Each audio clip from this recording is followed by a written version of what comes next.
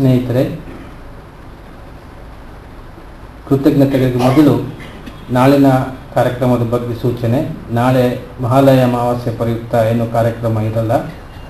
ನಾಡಿದ್ದು ಶತಾದಾನಿ ಗಣೇಶ್ ಅವರಿಂದ ವೇದ ಮಂತ್ರ ಪರಿಚಯದ ಕೆಲವು ವೇದ ಸೂಕ್ತಗಳ ಬಗ್ಗೆ ಪ್ರವಚನ ಇರುತ್ತೆ. ನಾಡಿದ್ದು ಸಂಜೆ ಆರೂವರೆ ಗಂಟೆಗೆ. ನಿನ್ನೆ ಮತ್ತು ಇಂದಿನ ಈ ಕಾರ್ಯಕ್ರಮವನ್ನು ಶ್ರೀಮತಿ ವಿಮಲಾ ರಾಮಚಂದ್ರ ಅವರು ತಮ್ಮ ಸೋದರ ಮಾವಾದಂತಹ ಶ್ರೀ ಎನ್ ವಿ ಶ್ರೀನಿವಾಸನವರ ಸ್ಮರಣೆಯಲ್ಲಿ ಈ ಸಂಸ್ಥೆಯಲ್ಲಿ ನೀಡಿರುವ ದತ್ತಿಯ ಆಶ್ರಯದಲ್ಲಿ ಏರ್ಪಡಿಸಿದ್ದೇವೆ. ಇದಕ್ಕಾಗಿ ಮತ್ತೊಮ್ಮೆ ತಮ್ಮೆಲ್ಲರ ಪರವಾಗಿ ಸಂಸ್ಥೆಯ ಪರವಾಗಿ ದತ್ತಿಯ ನ್ಯಾಸಕರ್ತರಾದಂತಹ ಶ್ರೀಮತಿ ವಿಮಲಾ ರಾಮಚಂದ್ರ ಅವರಿಗೆ ಕೃತಜ್ಞತೆಗಳನ್ನು ಸಲ್ಲಿಸ್ತೇನೆ ವಿದ್ವಾನ್ ಹರಿದಾಸ ಭಟ್ರು ನಿನ್ನೆಯೇ ವಿನಿಕೆ ಮಾಡಿದಂತೆ ಚೈತನ್ಯ ಎಂಬುದು ಎಲ್ಲೆಲ್ಲಿಯೂ ಇರುವಂಥದ್ದು ಅದನ್ನು ಜಡ ಮತ್ತು ಚೈತನ ಅಂತ ಹೇಳಿ ವಿಂಗಡಿಸಿ ನಾವು ಒಂದರ ಮೇಲೆ ಒಂದು ಸವಾರಿ ಮಾಡುವುದು ತಪ್ಪು ತಿಳಿಸ್ಕೊಟ್ಟಿದ್ದಾರೆ. ಮಹಾಭಾರತ ರಾಮಾಯಣದಿಂದ ಅನೇಕ ಉದಾಹರಣೆಗಳನ್ನು ನೀಡಿ ಸ್ವಧರ್ಮ ಎನ್ನುವುದು ಹೇಗೆ ಅತ್ಯಂತ ಶ್ರೇಷ್ಠವಾದ್ದು ಅನ್ನೋದನ್ನು ತಿಳಿಸ್ಕೊಟ್ಟಿದ್ದಾರೆ. ಈ ಸಂದರ್ಭದಲ್ಲಿ ಒಂದು ಪುಟ್ಟ ಕತೆ ಸಂತರೊಬ್ಬರು ಹೇಳಿದ್ದು ನೆನಪಿಗೂ ಬರ್ತದೆ. ಅದನ್ನು ನಿಮ್ಮ ಮುಂದೆ ಇಟ್ಟು ವಿರಮಿಸ್ತೇನೆ ಇಬ್ಬರು ಬೌದ್ಧ ಭಿಕ್ಷುಗಳು ಒಂದು ಆಶ್ರಮದಿಂದ ಇನ್ನೊಂದು ಆಶ್ರಮಕ್ಕೆ ತೆರಳುವಾಗ ಒಂದು ನದಿ ಕಾಣ್ತದೆ. ನದಿಯಲ್ಲಿ ಒಬ್ಬಳು ಹೆಣ್ಣು ಮಗಳು ಅಲೆಗೆ ಸಿಕ್ಕಿಕೊಂಡು ಕಾಪಾಡಿ ಅಂತ ಚೀರ್ತಾಳೆ ಒಬ್ಬ ಬಿಕ್ಕು ಹೋಗಿ ಈಜಿ ಆಕೆಯನ್ನು ದಡಕ್ಕೆ ತಂದು ಸೇರಿಸ್ತಾನೆ. ನಂತರ ಇಬ್ಬರು ಬಿಕ್ಕುಗಳು ಕೂಡ ತಮ್ಮ ಪ್ರಯಾಣ ಮುಂದುವರಿಸಿ ಆಶ್ರಮ ಸೇರ್ತಾರೆ. ಸ್ನೇಹಿತ ಬಿಕ್ಕು, ಈ ಹಿರಿಯ ಬಿಕ್ಕು ಅಂತ ಹೇಳ್ತಾನೆ, ಅಲ್ಲ, ಸನ್ಯಾಸಿಯಾಗಿ ನೀನು ಹೆಣ್ಮಗಳನ್ನು ಕರ್ಕೊಂಬಂದು ದಡಕ್ಕೆ ಬಿಟ್ಟಲ್ಲ ಸರಿನಾ ಅಂತ. ಅದಕ್ಕೆ ಆ ಹಿರಿಯ ಬಿಕ್ಕು ಹೇಳ್ತಾನೆ, ನಾನು ಅವಳು ಅಲ್ಲೇ ಬಿಟ್ಟು ಬಂದೆ, ನೀನು ಯಾಕೆ ಇಲ್ಲಿವರೆಗೂ ಹೊತ್ಕೊಂಬಂದೆ ಅಂತ. ಹಾಗೆ ಈ ಜೀವನದಲ್ಲಿ ಪರಮಹಂಸರು ಹೇಳೋ ಹಾಗೆ ದೋಣಿ ನೀರಿನಲ್ಲಿರಬೇಕು, ಆದರೆ ನೀರು ದೋಣಿಯಲ್ಲಿರಬಾರ್ದು ಅಂತ. ಇದನ್ನು ಇನ್ನಷ್ಟು ಸರಳವಾಗಿ ಪೂಜ್ಯ ಡಿ ವಿ ಜಿಯವರು ಈ ನಾಲ್ಕು ಪಂಕ್ತಿಯಲ್ಲಿ ಹೇಳಿದ್ದಾರೆ.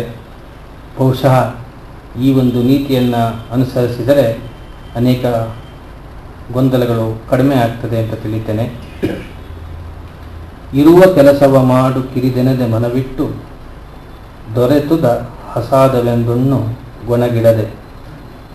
ಧರಿಸು ಲೋಕದ ಭರವ ಪರಮಾರ್ಥವನ್ನು ಬಿಡದೆ ಹೊರಡು ಕರೆ ಬರಲ್ ಅಳದೆ ಇದು ಡಿ ವಿ ಜಿಯವರ ಪಾಠ.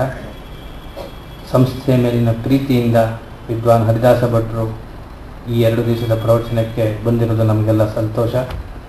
ಪುನಃ ಮತ್ತೆ ಆಗಿಂದಾಗೆ ಬಂದು ನಮ್ಮೊಡನೆ ಚಿಂತನೆಯನ್ನು ಹಂಚಿಕೊಳ್ಳಬೇಕು ಅಂತ ಭಕ್ತಿಪೂರ್ವಕವಾಗಿ ಪ್ರಾರ್ಥನೆ ಮಾಡಿ ಅವರಿಗೆ ಕೃತಜ್ಞತೆಯನ್ನು ಸಲ್ಲಿಸ್ತೇನೆ. ನಮಸ್ಕಾರ.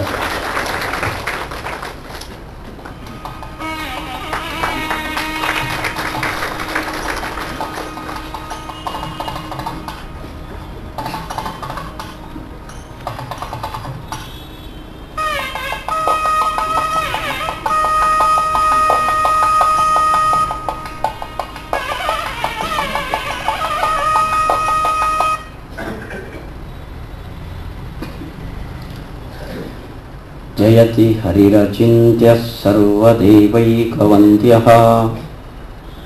परमगुरुरभीष्टावाप्तिदः सज्जनानाम्। निखिलगुणगणार्णो नित्यनिर्मुक्तदोषः। सरसिजनयनोऽसौ श्रीपतिर्मानदो नः अभ्रमं भङ्गरहितम् अजडं विफलं सदा आनन्दतीर्थमतुलं भजेतापत्रयापहम् आपादमौलिपर्यन्तं गुरूणाम् आकृतिं स्मरेत् तेन विघ्नाः प्रणश्यन्ति सिद्ध्यन्ति च मनोरथाः श्रीगुरुभ्यो नमः ಜೀವನ ಮತ್ತು ಅಧ್ಯಾತ್ಮ ಈ ಬಗ್ಗೆ ಇವೆರಡು ಒಂದಕ್ಕೊಂದು ಪೂರಕವಾದದ್ದು ಅಥವಾ ಒಂದು ಬೇಕಾದರೆ ಮತ್ತೊಂದನ್ನು ಬಿಡುವ ಅನಿವಾರ್ಯತೆ ಇದೆಯೋ? ಈ ವಿಷಯದಲ್ಲಿ ಉಪನಿಷತ್ತಿನ ಮತ್ತು ವ್ಯಾಸರ ನಿಲುವನ್ನು ನಾವು ನಿನ್ನೆ ಒಂದು ಹಂತದಲ್ಲಿ ನೋಡಿದ್ದೇವೆ. ಉಪನಿಷತ್ತು ಇವೆರಡು ಪ್ರತ್ಯೇಕವಾದ ದಾರಿಗಳು ಅಂತ. ಶ್ರೇಯೋ ಮಾರ್ಗ, ಪ್ರೇಯೋ ಮಾರ್ಗ ಅಂತ ಗುರುತಿಸಿದರೆ ವ್ಯಾಸರು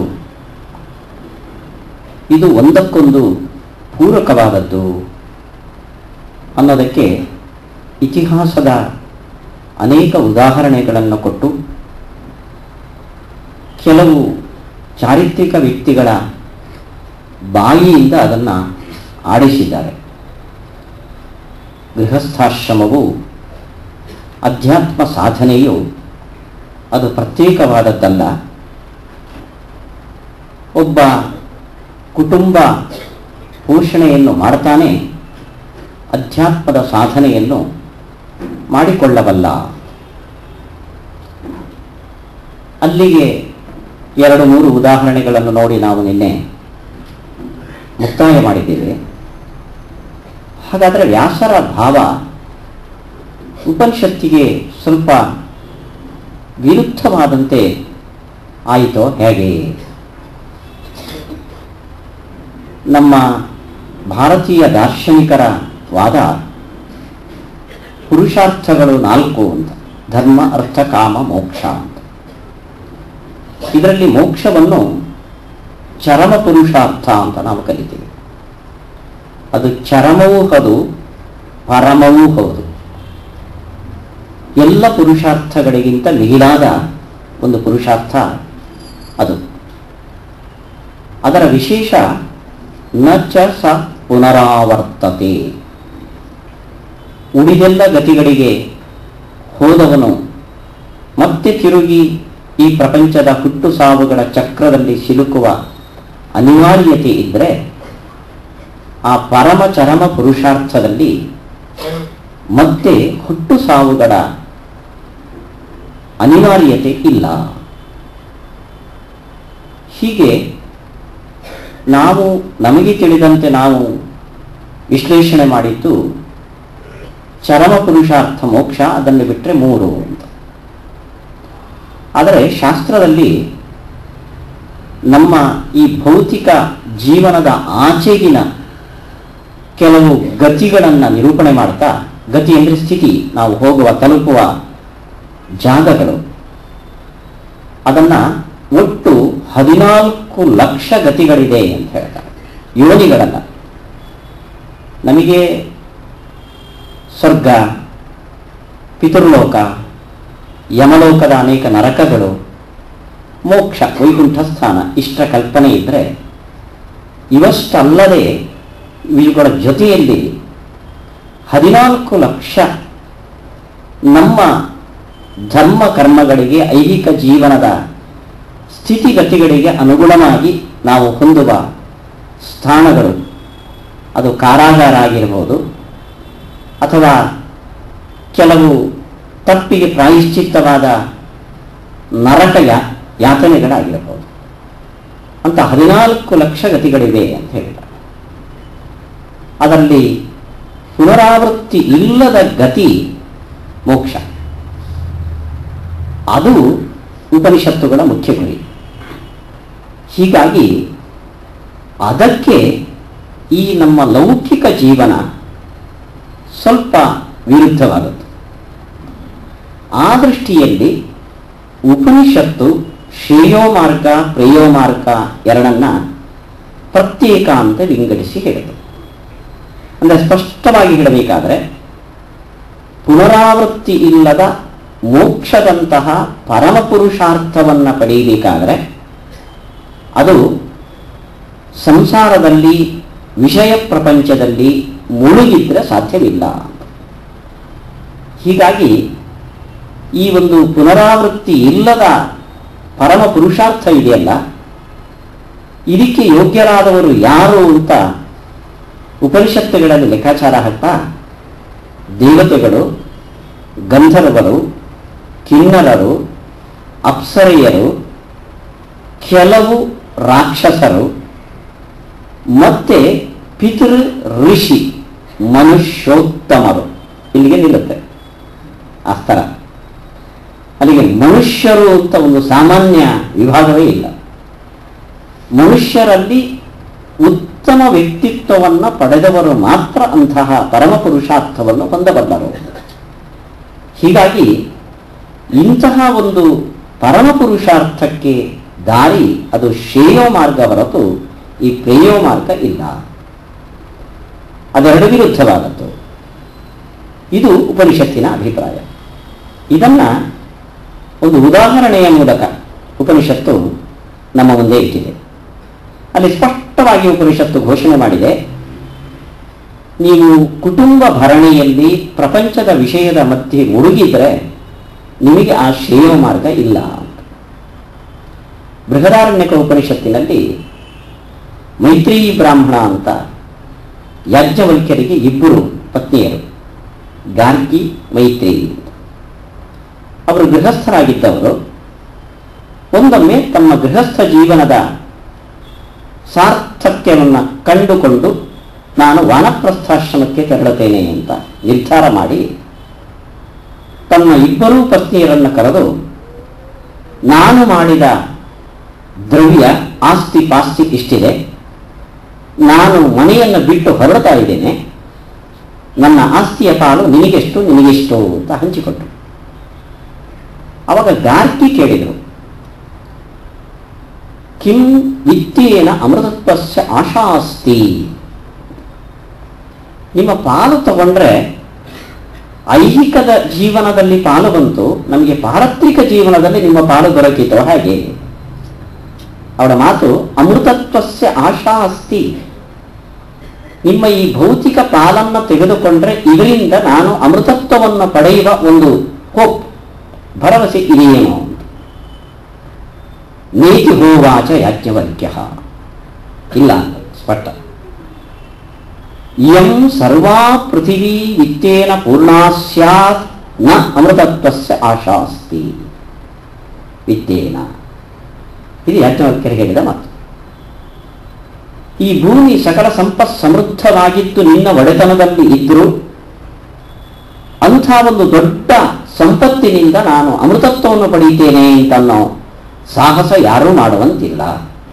ಅದರಿಂದ ನೀವು ಅಮೃತತ್ವದ ನಿರೀಕ್ಷೆಯನ್ನೇ ಇಟ್ಕೊಳ್ಬಾರದು. ಗಾರ್ಗಿಯಂದು ಕಿಂ ಅನಯ, ಏನ ನಾಮೃತತ್ವಮೇರಿ. ಹಾಗಾದರೆ ಯಾವುದರಿಂದ ನಾನು ನನ್ನ ಜೀವನದ ಅಮೃತತ್ವವನ್ನು ಪಡೆಯೋದಕ್ಕೆ ಸಾಧ್ಯ ಇಲ್ವೋ ಅಂಥ ಪಾರ್ಥವನ್ನು ನಾನೇನು ಮಾಡಬೇಕು? ನಿಮ್ಮ ಜೊತೆ ನಾನು ಹೊರಡ್ತೇನೆ. ಇದು, ನಮ್ಮಲ್ಲಿ ಸಾಧಾರಣ ಒಂದು ಕಲ್ಪನೆ ಇದೆ. ಈ ಸಾಧನೆ ಇದು ಪುರುಷ ವರ್ಗಕ್ಕೆ ಮೀಸಲು ಇದು ಉಪನಿಷತ್ತಿನ ನಿರೂಪಣೆ ನೋಡ್ರಿ ಇಲ್ಲಿ ಮನೆಯ ಯಜಮಾನ ಗಂಡನಿಗೆ ಸಾಧನೆಯ ಮಾರ್ಗದಲ್ಲಿ ಏನು ಹಕ್ಕಿದೆಯೋ, ಏನು ಅಧಿಕಾರ ಇದೆಯೋ, ಅದರ ಸಮಾನ ಅಧಿಕಾರ ಗಾರ್ಗಿಗೂ ಭಕ್ತಿಗೂ ಇದೆ ಅಂತ ತೋರಿಸಿಕೊಟ್ಟಿತು ಆದರೆ ಆಚಾರದಲ್ಲಿ ವ್ಯತ್ಯಾಸಗಳಿರಬಹುದು. ಆದರೆ ವಾನಪ್ರಸ್ಥಾಶ್ರಮ ಅನ್ನೋದು ಒಬ್ಬ ಗೃಹಸ್ಥ ಪುರುಷನಿಗೆ ಎಷ್ಟು ಅನಿವಾರ್ಯ ವಿಹಿತವೋ ಅಷ್ಟೇ ಅನಿವಾರ್ಯ ವಿಹಿತವಾದದ್ದು ಅವನ ಪತ್ತಿಗೂ.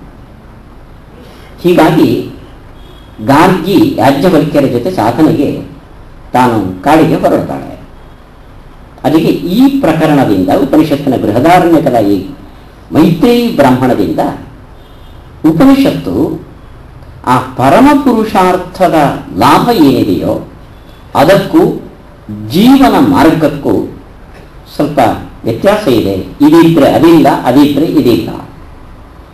ಎರಡರಲ್ಲಿ ಒಂದನ್ನು ಆರಿಸ್ಕೊಳ್ಳೋದು ಅನಿವಾರ್ಯ ಅನ್ನೋದನ್ನ ನಮ್ಮ ಮುಂದೆ ಸ್ಪಷ್ಟವಾಗಿಟ್ಟಿದೆ.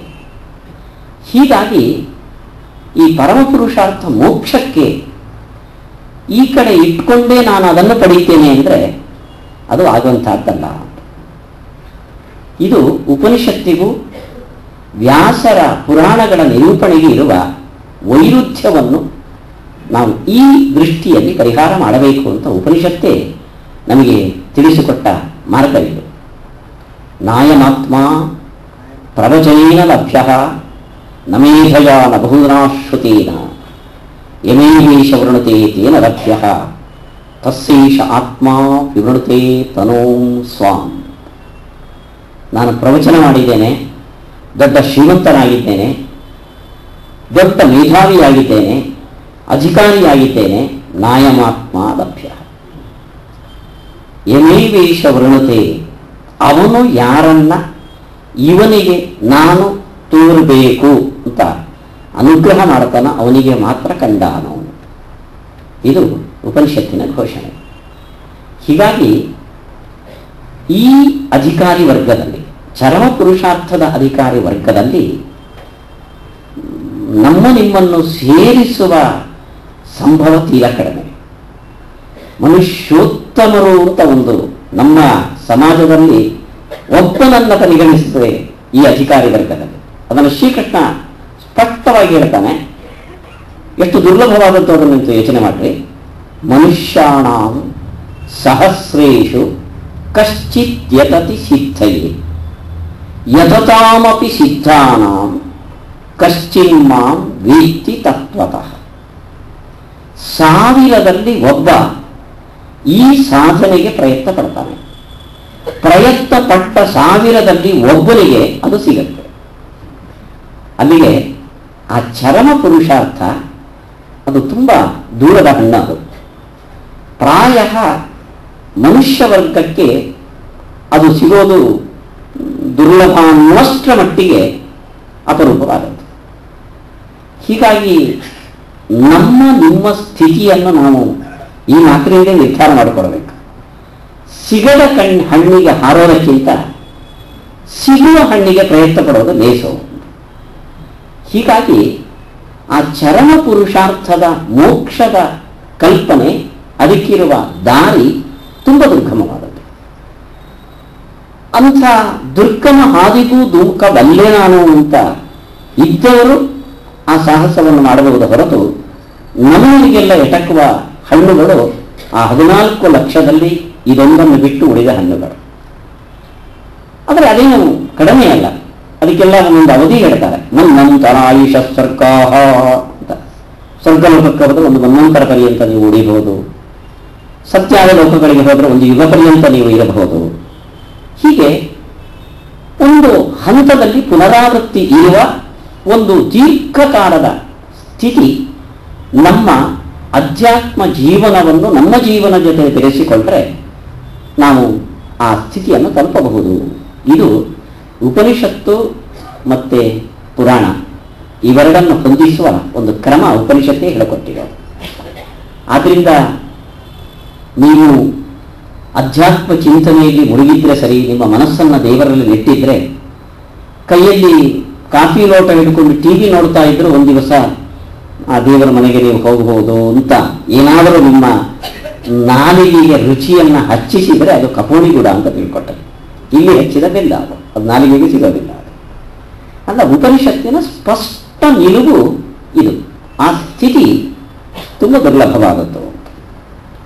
ಆದ್ದರಿಂದ ನಮ್ಮ ಪರಿಧಿಯಲ್ಲಿರುವ ನಮ್ಮ ಮಾನವೀಯ ಅತ್ಯಂತ ನಶ್ವರ ಜೀವನವನ್ನು ದೀರ್ಘಕಾಲದ ಒಂದು ಸ್ಥಿತಿಗೆ, ಸುಖದ ಸ್ಥಿತಿಗೆ ಏರಿಸೋದಕ್ಕೆ ಉಪನಿಷತ್ತು ಮತ್ತೆ ಪುರಾಣಗಳು ನಮ್ಮ ಜೀವನಕ್ಕೆ ಒಗ್ಗುವ ಅಧ್ಯಾತ್ಮದ ಕೆಲವು ಮಾತುಗಳನ್ನು, ಆಚಾರ ವಿಚಾರಗಳನ್ನು ನಮಗೆ ಪ್ರಸ್ತುತಪಡಿಸಿ ಹೀಗಾಗಿ ಪುರಾಣಗಳು ಅದು ಈ ಋಷಿ ಮುನಿಗಳಿಗೆ ಅಂತ ಅನ್ನೋದಕ್ಕಿಂತ ಹೆಚ್ಚಾಗಿ ನಮನಿಗೆ ಸಂಬಂಧಪಟ್ಟ ಒಂದು ಸಾಹಿತ್ಯ. ಮಹಾಭಾರತ, ರಾಮಾಯಣ, ಪುರಾಣಗಳು ಅದು ಅಲ್ಲ ಆ ಸಾಧನಾ ಪ್ರಪಂಚ, ಅಲ್ಲಿಯ ಅಧ್ಯಾತ್ಮ ಸಿದ್ಧಿಗಳು ಅದು ನಮಗೆ ಸಾಧನೆಗಾಗಿ ವ್ಯಾಸರು ತಿಳಿಸಿದ ಕ್ರಮ ಅದು. ವೇದ ಉಪನಿಷತ್ತುಗಳ ಸ್ಥಿತಿ ಏನಿದೆಯೋ ಅದು ಮನುಷ್ಯೋತ್ತಮರಿಗೆ ಎಟಕುವ ಒಂದು ಸಾಧನ ಪ್ರಪಂಚವನ್ನು ತಿಳಿಸುವ ಅದು ಪುಸ್ತಕಗಳು. ಅಲ್ಲಿ ನಮಗೆ ಸಂಬಂಧಪಟ್ಟದ್ದು ಬಹಳ ಅಲ್ಪ ಅಂಶಗಳು. ಅಲ್ಲಿಗೆ ನಾವು ಆ ಉಚ್ಚಮಟ್ಟದ ಯೋಚನೆಯನ್ನು ಬಿಟ್ಟು ನಮಗೆ ಸಂಬಂಧಪಟ್ಟ ಯೋಚನೆಯನ್ನು ನಮ್ಮ ಜೀವನದಲ್ಲಿ ನಾವು, ಅದು ಬೆಂಗಳೂರಿನ ನಾಗರಿಕ ಜೀವನದಲ್ಲಿ ನಾವು ಅಳ, ಅಳವಡಿಸಿಕೊಳ್ಳಬಹುದಾದ ಭಾವನಾತ್ಮಕ ಕೆಲವು ಅಧ್ಯಾತ್ಮ ವಿಷಯಗಳು ಮತ್ತೆ ಆಚರಣೆಯಲ್ಲಿ ತರಬೇಕಾದ ಆಚಾರ ವಿಚಾರ ಅಂತ ಹೇಳ್ತೇವಲ್ಲ, ತರಬಹುದಾದ ಅಂಶಗಳು ಪುರಾಣ ಉಪನಿಷತ್ತುಗಳಿಗೆ ಸಮ್ಮತವಾದದ್ದು ಯಾವುದು ಅಂತ ನಿಮ್ಮ ಮುಂದೆ ನಾನು ಹೇಳ್ತೇನೆ. ಮೂರು ಸಾಧನೆಯ ಹಂತವನ್ನು ನಮಗೆ ಹೇಳ್ತಾರೆ. ಅದರ ನಮ್ಮ ಸಾಧನೆಯ ಗುರಿ ಹೇಗಿರಬೇಕು? ಸಾಧನೆಯ ಭಾವ ಹೇಗಿರಬೇಕು? ಇವೆರಡಕ್ಕೆ ಎರಡೆರಡು ಜೊತೆ ಮಾಡಿ ನಾನು ಹೇಳ್ತೇನೆ. ಇದು ಭಾಗವತದಲ್ಲಿ ಬೇರೆ ಬೇರೆ ಸ್ಕಂಧಗಳಲ್ಲಿ ಬಂದಿರುವ ವಿಷಯ. ನೋಡಿ, ಸಾಧಕರನ್ನು ಭಾಗವತ ಮೂರು ಗುಂಪಿನಲ್ಲಿ ವಿಂಗಡಿಸುತ್ತೆ. ಅಂದರೆ ಈ ಜೀವನದಲ್ಲಿ ಇತ್ತುಕೊಂಡು ನಾನು ಸಾಧನೆ, ಅಧ್ಯಾತ್ಮ ಸಾಧನೆಯನ್ನು ಮಾಡೋದನ್ನು ಸರ್ವಭೂತೇಶು ಯಪಶ್ಯೇತ್ ಭಗವದ್ಭಾವಮಾತ್ಮನಃ ಭೂತಾನಿ ಭಗವತ್ಯಾತ್ಮನ್ ಸವೈ ಭಾಗವತೋತ್ತಮ. ಇದು ಮನುಷ್ಯರಲ್ಲಿ ಉತ್ತಮ ಸಾಧಕ. ಸರ್ವಭೂತೇಶು ಈ ಪ್ರಪಂಚದ ಸಕಲ ಪ್ರಾಣಿಗಳಲ್ಲೂ ಕೂಡ ಭಗವಂತನ ಸಂ- ಸಾನ್ನಿಧ್ಯ ಇದೆ. ಅಂತ ಯಾರು ತಿಳಿತಾನ ಅಷ್ಟೇ ಅಲ್ಲ, ಇವೆಲ್ಲವೂ ಅವನ ಅಧೀನದಲ್ಲಿದೆ ಎಂತ ಭಾವನೆಯಿಂದ ಮಾಡ್ತಾನ. ಸಕಲ ಚರಾಚರ ಪ್ರಪಂಚದಲ್ಲಿ ಭಗವಂತ ಇದ್ದಾನೆ. ಅವೆಲ್ಲವೂ ಅವನ ಹಿಡಿತದಲ್ಲಿದೆ, ಅವನ ಅಧೀನಕ್ಕೆ ಒಳಪಟ್ಟಿದೆ ಎಂತ ಯಾರು ತಿಳಿತಾನೋ? ಸವೈ ಭಾಗವತೋತ್ತಮ. ಅವನು ಉತ್ತಮ ಭಾಗವತ ಸಾಧಕ ಅಂತ ನಮ್ಮ ಮನುಷ್ಯ ಸಮಾಜದಲ್ಲಿ ಉತ್ತಮ ಸಾಧನೆಯ ಭಾವನಾತ್ಮಕ ಒಂದು ಅಂಶವನ್ನು ಭಾಗವತದ ಈ ಶ್ಲೋಕ ಹನ್ನೊಂದನೇ ಸ್ಕಂದದಲ್ಲಿ ವ್ಯಾಸರು ನಮ್ಮ ಮುಂದೆ ಇಟ್ಟಿದ್ದಾರೆ. ಅಲ್ಲಿಗೆ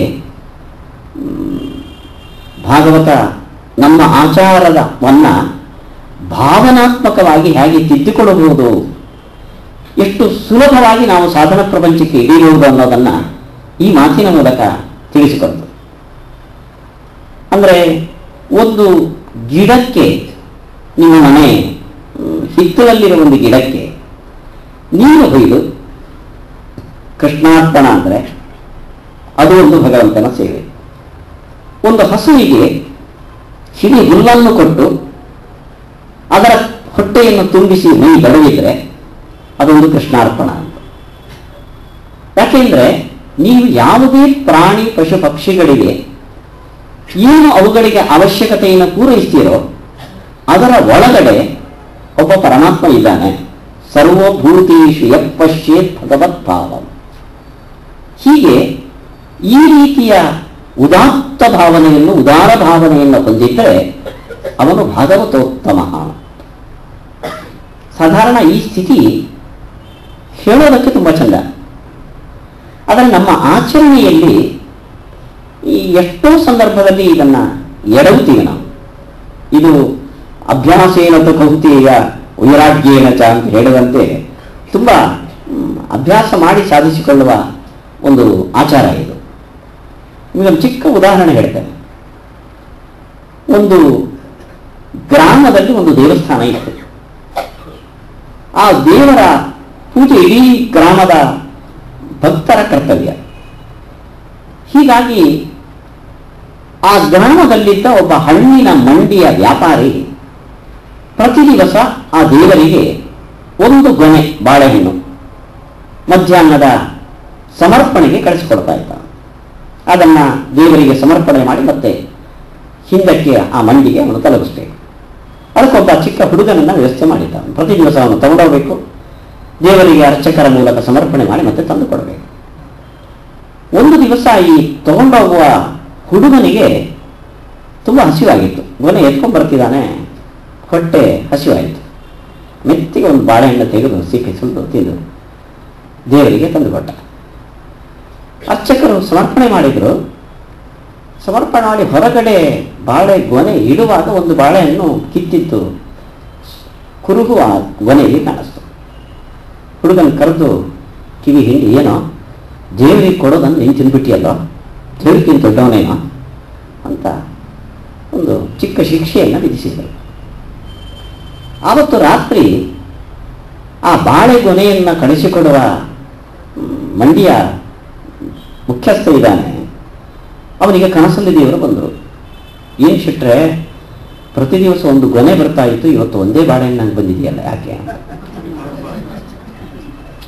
ಇದರ ಅರ್ಥ ಏನು ನೋಡಿ? ನಾವು ದೇವರು ಎಲ್ಲ ಕಡೆಯಲ್ಲಿ ಇದ್ದಾನೆ ಅಂತ ಬಾಯಲ್ಲಿ ಹೇಳ್ತೇವೆ ಆಚಾರದಲ್ಲಿ ಅದು ಮರ್ತ ಹೋಗುತ್ತೆ ದೇವರಿಗೆ ಯಾವುದು ಸೇರಿತ್ತು ಅಂದರೆ ಆ ಅರ್ಚಕರು ಸಮರ್ಪಣೆ ಮಾಡಿದ ಒಂದು ಗೊನೆ ಬಾಳೆಹಣ್ಣು ಸೇರಲಿಲ್ಲ. ಹಸಿದ ಹುಡುಗ ಒಂದು ಬಾಳೆಹಣ್ಣು ತಿಂದಿದ್ದು ಅದು ದೇವರಿಗೆ ಸೇರಿತು. ಅದರಿಂದ ಈ ಭಾಗವತೋತ್ತಮನ ಭಾವನೆಯ ಮೌಲಿಕತೆಯನ್ನು ಅರ್ಥ ಮಾಡಿಕೊಂಡಿದೆ.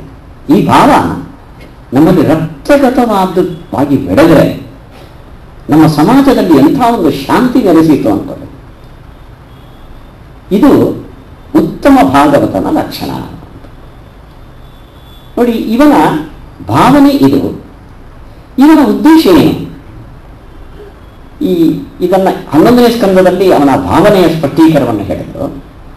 ಅವನ ಉದ್ದೇಶವನ್ನ ನಾಲ್ಕನೇ ಸ್ಕಂದದಲ್ಲಿ ವ್ಯಾಸರೇ ಹೇಳ್ತಾರೆ. ಕರ್ಮ ನಿರ್ಹಾರ ಉದ್ದೇಶ ಪರಸ್ಮಿನ್ವಾ ತದರ್ಪಣಂ ಅವನು ಯಾವುದೇ ಕೆಲಸವನ್ನು ಮಾಡಲಿ. ಅದರ ಹಿನ್ನೆಲೆಯಲ್ಲಿ ಈ ಭಾವವನ್ನು ಇಟ್ಕೊಂಡಿರ್ತಾನೆ.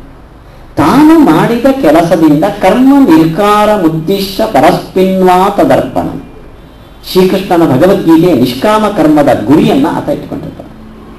ನಾನೇನು ಮಾಡಿದ್ದೇನೋ ಇದನ್ನ ನನ್ನ ಪೂರ್ವ ಕರ್ಮಕ್ಕೆ ಪುಣ್ಯ ಪಾಪಗಳಿಗೆ ಅನುಗುಣವಾಗಿ ನನ್ನ ಒಳಗಡೆ ಇದ್ದು ಮಾಡುವಂತ ಸಂದೇಶವನ್ನು ಕೊಟ್ಟು ಮಾಡಿಸಿದವ ದೇವರು. ಇದು ನಾನು ಮಾಡಿದ ಈ ಕರ್ತವ್ಯ ದೇವರಿಗೆ ತೃಪ್ತಿಯಾಗಲಿ ಈ ಎರಡು ಭಾವವನ್ನು ಇಟ್ಕೊಳ್ತಾನೆ. ಸಂಗಂ ತತ್ವ ಪರಸ್ಪಿನ್ ತದರ್ಪಣ ಎರಡು. ಸಂಗಂ ತತ್ವ ಅಂದರೆ ಇದರಿಂದ ಪ್ರತಿಫಲ ನಾನು ನಿರೀಕ್ಷಿಸೋದಿಲ್ಲ. ನಾನು ಮಾಡಬೇಕು ಅಂತ ನನ್ನ ಪೂರ್ವ ಕರ್ಮ ಕಾರಣವಾಗಿತ್ತು ಅದನ್ನು ಮಾಡಿಸಿದ ದೇವರು ದೇವರು ಮಾಡಿಸಿದ್ದು, ನಾನು ಮಾಡಿದ ಈ ಸತ್ಕರ್ಮದಿಂದ ಅವನು ತುಷ್ಟನಾಗಲಿ ಇದು ಈ ಉತ್ತಮ ಭಾಗವತ ತನ್ನ ಕರ್ಮಕ್ಕೆ ನಿರೀಕ್ಷಿಸುವ ಫಲ. ಯಾವುದೇ ಲೌಕಿಕ ಪ್ರತಿಫಲವನ್ನು ಬಯಸದೆ ಆಗ ನನ್ನ ಕರ್ತವ್ಯ, ಇದು ದೇವರು ಮಾಡಿಸಿದ್ದು ದೇವರ ನೀಡಿದ ಆದೇಶ ನೀನು ಹೇಳಿದ್ದನ್ನು ನಾನು ಮಾಡಿದ್ದೇನೆ. ಸಂತುಷ್ಟನಾಗಬೇಕು ಈ ಭಾವ ಅಂದರೆ ಇದನ್ನು ನಿಷ್ಕಾಮ ಕರ್ಮ ಅಂತ ಹೇಳುತ್ತೇವೆ ಇದು ಅವನು ಮಾಡುವ ಕೆಲಸದ ಭಾವನೆಯ ಹಿನ್ನೆಲೆ ಮತ್ತು ಅದಕ್ಕೆ ಅವನು ನಿರೀಕ್ಷಿಸುವ ಪ್ರತಿಫಲ ಇದು. ಭಾಗವತೋತ್ತಮ. ನೀವು, ನಾನು ಮೂರು ಗುಂಪನ್ನು ಹೇಳ್ತೇನೆ. ನೀವು ಕಣ್ಮುಚ್ಚಿ ಯೋಚಿಸ್ಕೊಳ್ಳಿ. ನಾವು ಇಲ್ಲಿದ್ದೇವೋ ಇಲ್ಲಿದ್ದೇವೋ ಇಲ್ಲಿದ್ದೇವೋ. ಅದು ನಮ್ಮ ವೈಯಕ್ತಿಕ ಭಾವನೆಗೆ ಬಿಟ್ಟಿರೋದು.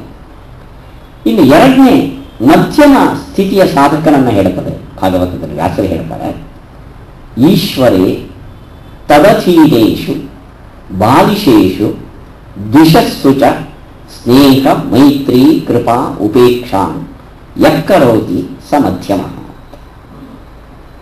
ಮೊದಲನೇ ಗುಂಪಿನ ವ್ಯಕ್ತಿ ಇಡೀ ಪ್ರಪಂಚವನ್ನು ದೇವರ ಮನೆ ಅಂತ ಒಂದೇ ಗುಂಪಲ್ಲಿ ಸೇರಿಸಿದ್ರೆ ಈ ಒಂದನ್ನ ನಾಲ್ಕು ಗುಂಪು ಮಾಡ್ತಾನೆ, ಈ ಎರಡನೇ ಮಧ್ಯಮ ಸಾಧಕ. ಒಂದು ದೇವರು ಅವನ ಪಾಡಿಗೆ ಇನ್ನೊಂದು ದೇವರ ಭಕ್ತರು, ಬಾಲಿಶರು. ಆ ಕಡೆ ದೇವರು ದೊಡ್ಡವನನ್ನ ಭಾವನೆಯೇ ಇಲ್ಲದೆ ತಮ್ಮ ಪಾಡಿಗೆ ತಾವು ಮುಕ್ತವಾಗಿ ಕೆಲಸ ಮಾಡಿಕೊಂಡು ಹೋಗುವರು ಇನ್ನೊಂದು ಶತ್ರುಗಳು, ಆಗದವರು. ಅಲ್ಲಿಗೆ ಒಂದಾಗಿದ್ದ, ಮೊದಲನೆಯ ಸಾಧಕನಿಗೆ ಒಂದಾಗಿದ್ದ ಪ್ರಪಂಚ ಇವನಿಗೆ ನಾಲ್ಕಾಯಿತು. ತನಗೆ ಆಗದ ಶತ್ರುಗಳು. ನನ್ನನ್ನು ದ್ವೇಷವೂ ಮಾಡದೆ, ಪ್ರೀತಿಯೂ ಮಾಡದ ಬಾಲಿಶರು. ದೇವರನ್ನ ನಾನು ಆರಾಧಿಸುವ ದೇವರನ್ನ ಅವರ ಪ್ರೀತಿಗೆ ಪಾತ್ರರಾದ ದೇವರ ಭಕ್ತರು. ದೇವರು. ಹೀಗೆ ನಾಲ್ಕು ಗುಂಪುಗಳಲ್ಲಿ ವಿಂಗಡಿಸಿ ನಾಲ್ಕರಲ್ಲಿ ನಾಲ್ಕು ಭಾವವನ್ನು ತಾಳ್ತಾನೆ ಸ್ನೇಹ, ಮೈತ್ರಿ, ಕೃಪಾ, ಉಪೇಕ್ಷ. ದೇವರಲ್ಲಿ ಭಕ್ತಿಯನ್ನು ಮಾಡ್ತಾನೆ. ದೇವರ ಭಕ್ತರಲ್ಲಿ ಮೈತ್ರಿಯನ್ನು ಬೆಳೆಸ್ತಾನೆ. ಯಾರು ಮುಗ್ಧರೋ ಆ ಕಡೆ ದ್ವೇಷಿಗಳಲ್ಲ, ಈ ಕಡೆ ತನ್ನ ಸ್ನೇಹಿತರು ಅಲ್ಲ, ಅವರಲ್ಲಿ ಅನುಕಂಪೆಯನ್ನು ತಾಳ್ತಾನೆ ಶತ್ರುಗಳಲ್ಲಿ ಉಪೇಕ್ಷೆ ಮಾಡ್ತಾನೆ. ಸಾಧಿಸಕ್ಕೆ ಹೋಗೋದಿಲ್ಲ ಉಪೇಕ್ಷೆ ಮಾಡ್ತಾನೆ. ಇವನು ಮಧ್ಯಮ ಭಕ್ತ ಹೀಗೆ ಮೊದಲನೆಯವನ ಭಾವನೆಗೂ ಇವನ ಭಾವನೆಗೂ ಇರುವ ವ್ಯತ್ಯಾಸವನ್ನ ಈ ಸಾಧಕನಲ್ಲಿ ವ್ಯಾಸರು ಗುರುತಿಸಿದರು. ಇನ್ನು ಫಲದ ಬಗ್ಗೆ ಈ ಉದಾತ್ತ ಭಾವನೆಯಿಂದ ದೇವರನ್ನ ನೋಡ್ತಾ ಅವನು ಮಾಡುವ ಸತ್ಕರ್ಮಗಳಿಗೆ ದೇವರಿಂದ ಏನು ನಿರೀಕ್ಷೆ ಮಾಡ್ತಾನೆ? ಅದಕ್ಕೆ ಹೇಳ್ತಾರೆ, ಅವನು ಅಭಿಸಂಧಾಯ, ಫಲಂ. ಯಾವುದು? ಯಶಃ ಐಶ್ವರ್ಯ ವೇದವ. ತಾನು ತೋರಿದ, ದೇವರ ಬಗ್ಗೆ ತೋರಿದ ಉದಾತ್ತ ಭಾವನೆಗಾಗಿ ಭಕ್ತಿ ಅನ್ರಿ ಅಥವಾ ತಾನು ಮಾಡಿದ ಆರಾಧನೆ ಅನ್ರಿ ಅದಕ್ಕೆ ಆತ ದೇವರಿಂದ ನಿರೀಕ್ಷಿಸುವ ಪ್ರತಿಫಲ ಯಶಃ ಐಶ್ವರ್ಯ ವೇಗವ ತನಗೆ ಕೀರ್ತಿ ಬರಬೇಕು ಅಂತ ಕೆಲವರು, ತನಗೆ ದುಡ್ಡು ಐಶ್ವರ್ಯ ಕಾಸು ಬರಬೇಕು ಅಂತ ಕೆಲವರು. ಇನ್ನು ಇದರಲ್ಲಿ ಇತ್ಯಾದಿ ನನಗೆ ಸಂತತಿ ಆಗಬೇಕು, ಬೆಂಗಳೂರಲ್ಲಿ ಸೈಟ್ ಸಿಗಬೇಕು, ಕೆಲಸ ಸಿಗ ಇವೆಲ್ಲ ಸೇರುತ್ತೆ ಅಂತೂ ತಾನು ದೇವರಿಗೆ ಕೊಟ್ಟಿದ್ದಕ್ಕಾಗಿ, ಮಾಡಿದ್ದಕ್ಕಾಗಿ ಅವನಿಂದ ಒಂದು ನಿರೀಕ್ಷೆಯನ್ನ ಇಟ್ಟುಕೊಂಡು ಲೌಕಿಕ ಬಯಕೆಯನ್ನ ಪೂರೈಸಿಕೊಳ್ಳುವ ವ್ಯಾಪಾರಿ ಈ ಮಧ್ಯಮ ಭಕ್ತ. ಹೀಗೆ ಭಾವನೆಯಲ್ಲಿ ಒಂದನ್ನ ನಾಲ್ಕಾಗಿ ಕಂಡು ನಾಲ್ಕರಲ್ಲಿ ನಾಲ್ಕು ಭಾವನೆ ತಾಡಿ ತಾನು ಮಾಡಿದ ಪರಮಪುರುಷನ ಆರಾಧನೆಗಾಗಿ ಪ್ರತಿಫಲದ ನಿರೀಕ್ಷೆಯಲ್ಲಿ ಇಟ್ಟುಕೊಂಡವನು ಅವನು ಮಧ್ಯಮ ಸಾಧಕ.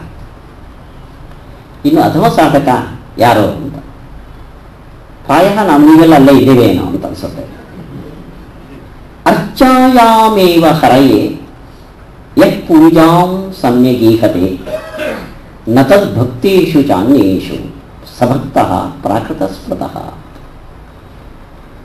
ಗಣೇಶ ಚತುರ್ಥಿ ಬಂದರೆ ಸರಿ ಗಣೇಶನಿಗೆ ನಮಸ್ಕಾರ ಹಾಕಿ ಬರ್ತೇವೆ ಅಂತ ದೊಡ್ಡ ಗಣೇಶನ ದೇವಸ್ಥಾನಕ್ಕೆ ಬಂದರೆ ಮಾತ್ರ ಯಾರು ತೃಪ್ತಿ ಪಡ್ಕೋತಾರೋ. ದೇವರು ಕೃಷ್ಣ ಗಣೇಶ ಇವರು ಗುಡಿಯಲ್ಲಿ ಮಾತ್ರ ಇದ್ದಾರೆ, ಬೇರೆ ಎಲ್ಲೂ ಇಲ್ಲ. ನತದ್ ಭಕ್ತೇಶು ಚಾನ್ಯೇಶು ತತ್ವನ್ನಲ್ಲ ಅರ್ಚಾಯಾಮೇವ. ನಮ್ಮನೆ ದೇವರ ಕೋಣೆ ನೋಡಿ. ಬಾಗಿಲು ತೆರೆದು ದೇವರು ಅಲ್ಲಿದ್ದಾರೆ ಅಂತ.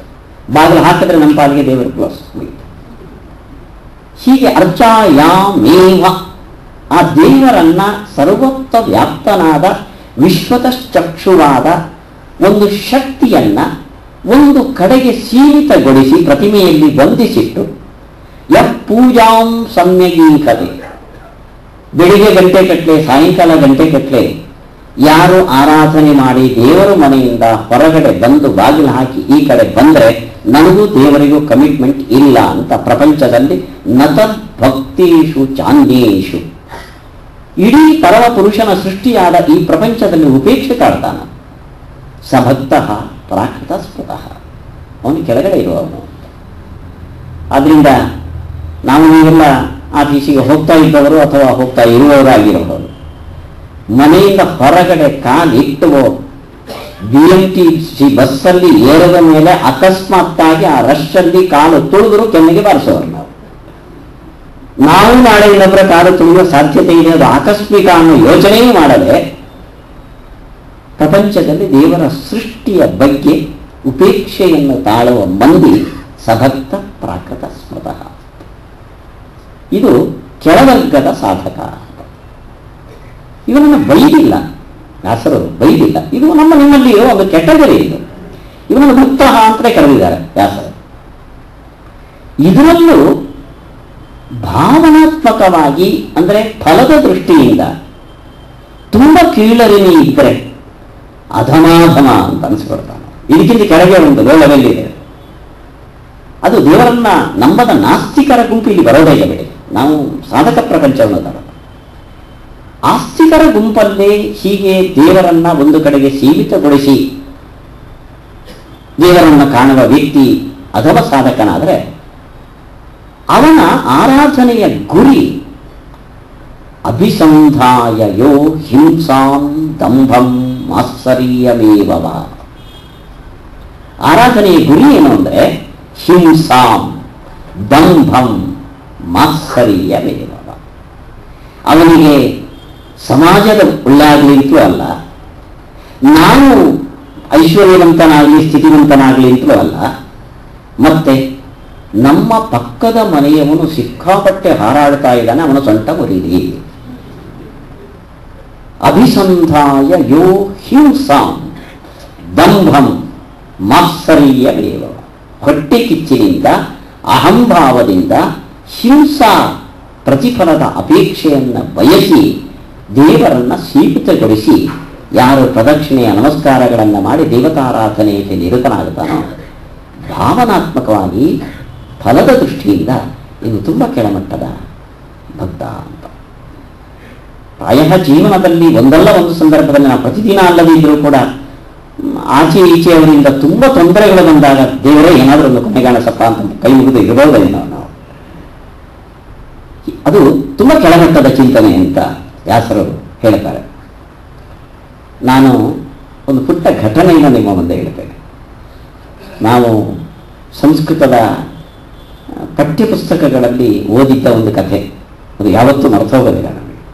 ಲೂಹಿ ಮತ್ಸರೀಚ ಅಂತ ಒಂದು ಕಥೆ ಇತ್ತು ನಮಗೆ.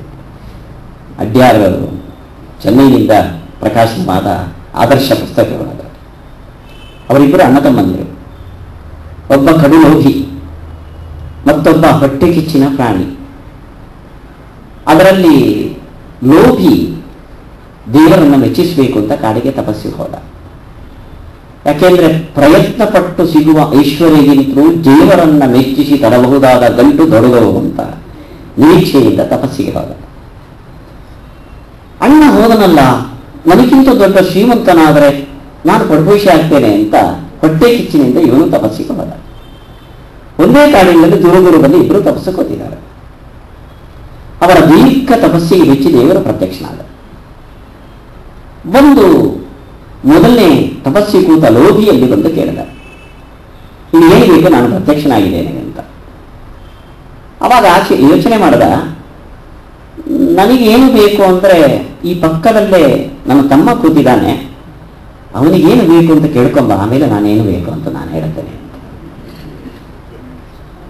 ತಮ್ಮನ ಹತ್ರ ದೇವರು, ನಿನ್ನ ತಪಸ್ಸಿಗೆ ಮೆಚ್ಚಿದ್ದೇನೆ, ಏನು ಬೇಕು ಅಂತ. ಅಣ್ಣ ಏನು ಹೇಳದ ಅಂತ ಕೇಳ್ದ. ಅಣ್ಣ ಏನು ಹೇಳಲಿಲ್ಲ ನೀನು ಕೇಳಿದ ಮೇಲೆ ಅವನು ಕೇಳ್ತಾನಂತೆ ಅಂತಂದ ಅಲ್ಲಿ ಇಲ್ಲ, ಅವನು ಕೇಳಿದ ಮೇಲೆ ನಾನು ಅಂತ ಇವನಂದ ಮತ್ತೆ ಈ ಕಡೆ ಬಂದ ಯೋಚನೆ ಮಾಡಿ ಮತ್ತೆ ಆ ಕಡೆ ಈ ಕಡೆ ದೇವರನ್ನ ಅಡ್ಡಾಡಿಸಬಾರದು ಅಂತ ಈ ಲೋಭಿ ಕೇಳ್ಕೊಂಡ ನನ್ನ ತಮ್ಮ ಏನು ಕೇಳಿದ್ದಾನೋ ಅದರ ಎರಡು ಪಟ್ಟು ಐಶ್ವರ್ಯವನ್ನು ನಾನು ಕೊಡುವಂತ ತಥಾಸ್ತು ಅಂತ ದೇವರು. ಮತ್ತೆ ಈ ಕಡೆ ಮತ್ಸರಿ ತಮ್ಮನ ಬಳಿಗೆ ದೇವರು ಬಂದ. ನಿಮ್ಮ ಅಣ್ಣ ಕೇಳಾಯ್ತು ನೀನು ಕೇಳು ಅಂತ. ಏನು? ನೀನೇನು ಕೇಳ್ತೀಯೋ ಅದರ ಎರಡು ಪಟ್ಟು ಅವನಿಗೆ ಸಿಗುತ್ತೆ. ಬೆಂಗಳೂರಿನ ಒಂದು ಮನೆ ನೀನು ಕೇಳಿದ್ರೆ ಅವನಿಗೆ ಎರಡು.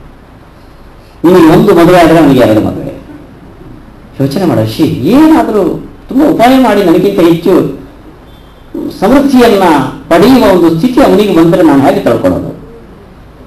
ಯೋಚನೆ ಮಾಡಿ ಕೊನೆ ಕೇಳಿದ ನಂದು ಒಂದು ಕಣ್ಣು, ಒಂದು ಕೈ, ಒಂದು ಕಾಲು ಹೋಗಲಿಲ್ಲ ದೀರ್ಘಕಾಲ ಪರಿಶ್ರಮದಿಂದ ವಿಶ್ವದ ಒಡೆಯನ್ನು, ಒಡೆಯನನ್ನ ಮೆಚ್ಚಿಸುವ ಕೆಲಸವನ್ನ ಮಾಡಿದ ಈ ಇಬ್ಬರು ದುರ್ಬುದ್ಧಿಗಳು. ಒಬ್ಬ ತಪಸ್ಸಿನ ಫಲವಾಗಿ ಒಂದು ಕಣ್ಣು ಒಂದು ಕೈ ಕಾಲು ಕಳ್ಕೊಂಡ್ರೆ ಮತ್ತೊಬ್ಬ ಎರಡೂ ಕಣ್ಣು ಎರಡು ಕೈ ಕಾಲುಗಳನ್ನು ಕಳ್ಕೊಂಡ. ಇದು ಅಂತಿಮವಾಗಿ ಇಂಥ ದುರುದ್ದೇಶದಿಂದ ಧಾರ್ಮಿಕ ಪ್ರಪಂಚಕ್ಕೆ ಬಂದು ಭಗವಂತನನ್ನ ಆರಾಧಿಸಿದರೆ ಆಗುವ ಫಲ, ಪರಿಣಾಮ ಅಂತ ಹೀಗೆ ಸಾಧಕರ ಭಾವನೆಯನ್ನ ಮೂರು ಗುಂಪುಗಳಲ್ಲಿ ವಿಂಗಡಿಸಿ ವ್ಯಾಸರು ನಾವು ಎಲ್ಲಿರಬೇಕು ಎಲ್ಲಿ ಹೇಗೆ ಏರಬೇಕು ಅಂತ ಅನ್ನೋ ಏಳಿಯ ಮೂರು ಮೆಟ್ಟಲುಗಳನ್ನು ವ್ಯಾಸರು ತಿಳಿಸಿಕೊಟ್ಟಿದ್ದಾರೆ. ಇದು ನಾವು ನೀವು ನಮ್ಮ ಜೀವನದಲ್ಲಿ ಅಳವಡಿಸಿಕೊಳ್ಳಬಹುದಾದ ಅಧ್ಯಾತ್ಮ ಸಾಧನೆ ಇದು. ಇದನ್ನು ಶ್ರೀಕೃಷ್ಣ ಆ ಮೊದಲನೇ ಗುಂಪಿನ ಭಾವನೆಯನ್ನು ತುಂಬ ಉದಾತ್ತವಾಗಿ ಚಿತ್ರಿಸಿದ್ದಾನೆ. ಸರ್ವ ಕರ್ಮಾಣಿ ಸನ್ಯಸ್ಯ. ಈ ಏನೇನು ಕೆಲಸ ಮಾಡ್ತೀಯೋ ನಮ್ಮ ಗೀತೆಯ ಪ್ರಸಿದ್ಧವಾದ ಶ್ಲೋಕ, ಯತ್ಕರೋಷಿ, ಯದಷ್ಟಾಸಿ ಯಜ್ಜುಕೋಸಿ ದದಾಸಿ ಯತ್ ಯತ್ ತಪಸ್ಯಸಿ ಕೌಂತೇಯ, ತತ್ಪುರುಷ ಮದರ್ಪಣ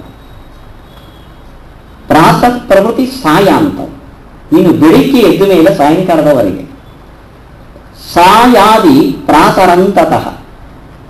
ಸಾಯಂಕಾಲದಿಂದ ಮತ್ತೆ ಬೆಳಗಿನವರೆಗೆ. ಯತ್ ಕರೋಮಿ ಜಗನ್ನಾಥ ತದಸ್ತು ತವ ಪೂಜನ. ಅಲ್ಲಿಗೆ ಅಧ್ಯಾತ್ಮದ ಸಾಧನೆ ಜೀವನದ ಒಂದೊಂದು ಹೆಜ್ಜೆಯೂ ಆಗೋಕ್ಕೆ ಸಾಧ್ಯ ಇದೆ. ಬೆಳಗ್ಗೆಯಿಂದ ಸಾಯಂಕಾಲದವರೆಗೆ, ಸಾಯಂಕಾಲದಿಂದ ಬೆಳಗಿನವರೆಗೆ, ನೋಡಿ ಸಾಯಂಕಾಲದಿಂದ ಬೆಳಗಿನವರೆಗೆ ಮಧ್ಯದ ಅವಧಿಯಲ್ಲಿ ನಾವು ಹೊರಗೆ ಹೊಡೆದು ಮಲ್ಕೊಳ್ಳೋ ಒಂದು ಕ್ರಿಯೆಯನ್ನು ಬಂತು. ಯತ್ ಕರೋಮಿ ತದಸ್ತು ತವ ಪೂಜನ. ಅಲ್ಲಿಗೆ ಕೋರಿಕೆ ಹೊಡೆದು ಮಲ್ಕೊಳ್ಳೋದು ಕೂಡ ಒಂದು ದೇವರ ಪೂಜೆ ಆಗೋಕ್ಕೆ ಸಾಧ್ಯ ಇದೆ. ಅನುಸಂಧಾನದ ದೃಷ್ಟಿಯಿಂದ ನಾವು ಮನೆ ಹಿತ್ತಲಲ್ಲಿ ತುಳಸಿಯನ್ನು, ಹೂವನ್ನು ಬೆಳೆಸಬಹುದು ಹಸುವನ್ನು ಕಟ್ಟಿ ಹಾಲು ಕರೀಬಹುದು. ತುಳಸಿ ಹೂವನ್ನು ಬೆಳೆದು ಮಾರುಕಟ್ಟೆಯಲ್ಲಿ ಮಾರಿ ದುಡ್ಡು ಮಾಡ್ತೇನೆ. ಅಪರೂಪಕ್ಕೆ ನಮ್ಮ ಅಂಗಳದಲ್ಲಿ ನೆಟ್ಟ ಮಾವಿನ ಮರದಲ್ಲಿ ಕೆಜಿಗಟ್ಟಲೆ ಹಣ್ಣು ಬಿಟ್ಟರೆ ಈ ಸ್ವಲ್ಪ ದುಡ್ಡು ಮಾಡಬಹುದು ಅಂತ ಯೋಚನೆ ಮಾಡ್ತೀವಿ ಅದೇ ಈ ಸತಿ ಹಣ್ಣಾಗಿದೆ. ನಾಲ್ಕು ಜನರಿಗೆ ಕೊಟ್ಟು ಬಂಧು ಬಾಂಧವರ ಜೊತೆ ಹಂಚಿ ತಿನ್ಬೇಕು ನಾನು ಅಂತ ಯೋಚನೆ ಮಾಡಿದ್ರೆ ಒಂದು ಅಧ್ಯಾತ್ಮ ಇದು, ಒಂದು ಅಧ್ಯಾತ್ಮಕ್ಕೆ ವಿಮುಖವಾದ ದಾರಿಯಾಯಿತು ನೀನು ದೇವರಿಗೆ ಅರ್- ಕೃಷ್ಣ ಆದೇಶ ಕೊಟ್ಟಿದ್ದು ನೀನು ಮಾಡಿದ್ದೆಲ್ಲ ನನಗೆ ಅರ್ಪಣೆ ಮಾಡು ಅಂತ. ಈ ಒಂದು ಅನುಸಂಧಾನವನ್ನು ನಮ್ಮ ಮನಸ್ಸಲ್ಲಿ ಇಟ್ಕೊಂಡ್ರೆ ನಾವು ಮಾಡಿದ್ದೆಲ್ಲ ಕೃಷ್ಣಾರ್ಪಣೆ ಮಾಡಬೇಕಾದ್ರೆ ನಾವು ಸ್ವಾರ್ಥದ ಭಾವನೆಯಿಂದ ಅಥವಾ ಅದಕ್ಕಿಂತಲೂ ಕೆಳಮಟ್ಟಕ್ಕೆ ಇಡಲು ದುರ್ಭಾವನೆಯಿಂದ ಜೀವನವನ್ನು ಸಾಗಿಸಿದರೆ ಕೃಷ್ಣಾರ್ಪಣ ಅನ್ನೋ ಭಾವ ನಮಗೆ ಬರೋದಿಲ್ಲ. ದೊಡ್ಡ ಸಂದೇಶ ಇದು ಕೃಷ್ಣನದು ನೀನು ಮಾಡಿದ್ದನ್ನು ನನಗೆ ಅರ್ಪಿಸು ಈ ಒಂದು ತೀರ್ಮಾನವನ್ನು ಕೃಷ್ಣನ ಸಂದೇಶವನ್ನು ನಾವು ಜೀವನದಲ್ಲಿ ಕರೆಕ್ಟ್ಗೊಳಿಸಿದರೆ ಒಂದು ತಪ್ಪು ಹೆಚ್ಚು ನಮ್ಮ ಜೀವನದಲ್ಲಿ ನಡೆಯೋದಿಲ್ಲ. ಯಾಕೆಂದರೆ ಮತ್ತೊಬ್ಬರಿಗೆ ಪಟಾರ ಅಂತ ಪಡೆದು ಕೃಷ್ಣಾರ್ಪಣ ಅನ್ನೋಕ್ಕೆ ಮನಸ್ಸು ಬರೋದಿಲ್ಲ. ವಿವೇಕಾನಂದರು ತುಂಬ ದುಶ್ಚಟಕ್ಕೆ ಒಳಗಾಗಿದ್ದ ಒಬ್ಬ ವಿದ್ಯಾರ್ಥಿ ಅವರ ಬಳಿ ಬಂದಾಗ, ಅವರ ಮನೆಗೆ ಕೊಟ್ಟ ಒಂದೇ ಒಂದು ನಿರ್ದೇಶನ. ನೀನು ನಾಳೆಯಿಂದ ಏನು ತಿಂತೀಯೋ, ಏನು ಕುಡಿತೀಯೋ, ದೇವರಿಗೆ ಕೊಡದೆ ಕುಡಿಯೋದಿಲ್ಲ, ತಿನ್ನೋದಿಲ್ಲ ಅಂತ ಪ್ರತಿಜ್ಞೆ ಮಾಡುವಂತ ಅವರ ಕಾಲು ಒತ್ತಿ ಪ್ರತಿಜ್ಞೆ ಮಾಡಿ ಹೊರಟ. ದುಶ್ಚಟಕ್ಕೆ ಬಿದ್ದವ ಅವನು. ಮರು ದಿವಸ ಅವನು ಎಲ್ಲೋ ಹೋಗಿ ಕುಡಿಬಾರದನ್ನ ಕುಡಿಯೋದಕ್ಕೆ ಕೈಯಲ್ಲಿ ಹಿಡ್ಕೊಂಡಿದ್ದಾನೆ. ವಿವೇಕಾನಂದರು ಹೇಳಿದ್ದಾರೆ, ದೇವರಿಗೆ ಅರ್ಪಿಸುವಂತ. ಛೇ ಇದನ್ನು ದೇವರಿಗೆ ಕೊಡೋದು ಹೇಗೆ? ಲೋಟ ಕೆಳಗಿಟ್ಟ. ಹೀಗೆ ಅವನ ದುಶ್ಚಟಗಳೆಲ್ಲ ಈ ಒಂದು ಸಂಕಲ್ಪದಿಂದ ಪೂರ್ಣ ಹಿಡಿತಕ್ಕೆ ಬಂದ ಇದು ಕೃಷ್ಣ ನಮಗೆ ಕೊಟ್ಟ ತುಂಬ ಅರ್ಥಪೂರ್ಣವಾದ ಒಂದು ಸಂದೇಶ. ಈ ಭಾವನೆಯಿಂದ ನಾವು ಮಲ್ಕೊಂಡ್ರು ಅದೊಂದು ಕೃಷ್ಣಾರ್ಪಣಕ್ಕೆ ಅರ್ಹವಾದ ಕ್ರಿಯೆ ನಡಿ, ಆಗತ್ತೆ. ಹೇಗೆ ನಾನು ರಾತ್ರಿ ಇಡೀ ದೂರದರ್ಶನ ನೋಡಿ ನಿದ್ದೆ ಕೆಟ್ಟರೆ ನಾಳೆ ನನ್ನ ಧ್ಯಾನದ ಅವಧಿಯಲ್ಲಿ ಕಣ್ಣು ಮುಚ್ಚಿ ಕೂತ್ರೆ ತೂಕಡಿಸ್ತೇನೆ. ನನ್ನ ಸಾಧನೆಯ ಹಂತ ಹೋಯಿತು. ರಾತ್ರಿ ನಿದ್ದೆ ಮಾಡಿದಾಗ ನಾಳೆಯ ಪ್ರಾರ್ಥನೆ ಅರ್ಥವತ್ತಾಗ್ತದೆ. ಅನ್ನೋ ದೃಷ್ಟಿಯಿಂದ ನೀವು ಗೊರಕ್ಕೆ ಹೊಡೆದು ನಿದ್ದೆ ಮಾಡಿದರೆ ಅದು ಕೃಷ್ಣಾರ್ಪಣ ಆಗುತ್ತೆ. ಹೀಗೆ ಕೃಷ್ಣ ಯತ್ ಕರೋಷಿ ಯದಶ್ನಾಸಿ ಯಜ್ಜುಹೋಸಿ ದದಾಸಿ ನಿನ್ನ ಜೀವನದ ಒಂದೊಂದು ಕ್ಷಣದ ಕೆಲಸಗಳನ್ನು ನೀನು ನನಗೆ ಪ್ರೀತಿಯಾಗುವಂತೆ ನನಗೆ ಅರ್ಪಣೆ ಮಾಡು ಅಂತ ಹೇಳಿದ್ರ ಉದ್ದೇಶ ಅಧ್ಯಾತ್ಮ ಸಾಧನೆ ಅದು ಅತ್ಯಂತ ದೊಡ್ಡ ಕ್ಲಿಷ್ಟಕರವಾದ ಅದಕ್ಕೋಸ್ಕರ ಕಾಡಿಗೋ ಇನ್ನೊಂದು ಕಡೆನೋ ಯಾವ್ಯಾವ ಯಾವ ಯಾತ್ರಾ ಸ್ಥಳಗಳಿಗೋ ಕಾಶಿ, ರಾಮೇಶ್ವರಗಳಿಗೆ ಹೋಗಬೇಕಾದ ಅವಶ್ಯಕತೆ ಇಲ್ಲ. ನಮ್ಮ ಮನೆಯಲ್ಲೇ ಕಾಶಿ ರಾಮೇಶ್ವರವಾಗಿ ನಾವು ಮಾಡಿಸ್ಕೊಳ್ಳೋದಕ್ಕೆ ಸಾಧ್ಯ. ಇದು ಕೃಷ್ಣ ನಮ್ಮ ಜೀವನಕ್ಕೆ ಅಧ್ಯಾತ್ಮವನ್ನು ಹೇಗೆ ಅಂಟಿಸಿಕೊಳ್ಳಬಹುದು ಅನ್ನೋದಕ್ಕೆ ಕೊಟ್ಟ ಒಂದು ದೊಡ್ಡ ಮಾರ್ಗದರ್ಶನ.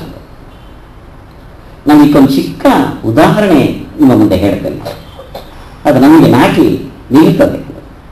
ಇದೊಂದು ಕಟ್ಟುಕತೆ ಇದು ನಾರದರು, ಅವರು ಭಗವದ್ ಭಕ್ತರು ಅವರು ನಿರಂತರ ಭಗವಂತನ ನಾಮಸ್ಮರಣೆ ಮಾಡಿ ತ್ರಿಲೋಕ ಸಂಚಾರಿ ಆಗಿ ಭಕ್ತರಿಗೆ ಬೇಕಾದ ನಿರ್ದೇಶನವನ್ನು ಕೊಡುವ ಉದಾತ್ತ ಜೀವನ ಅಮರದು ಅವರು ಒಂದರ ದೇವರ ಮುಂದೆ ಕೇಳಿದರಂತೆ, ಈ ಪ್ರಪಂಚದಲ್ಲಿ ನಿನಗೆ ಅತಿ ಪ್ರಿಯನಾದ ಭಕ್ತ ಯಾರು ಅಂತ.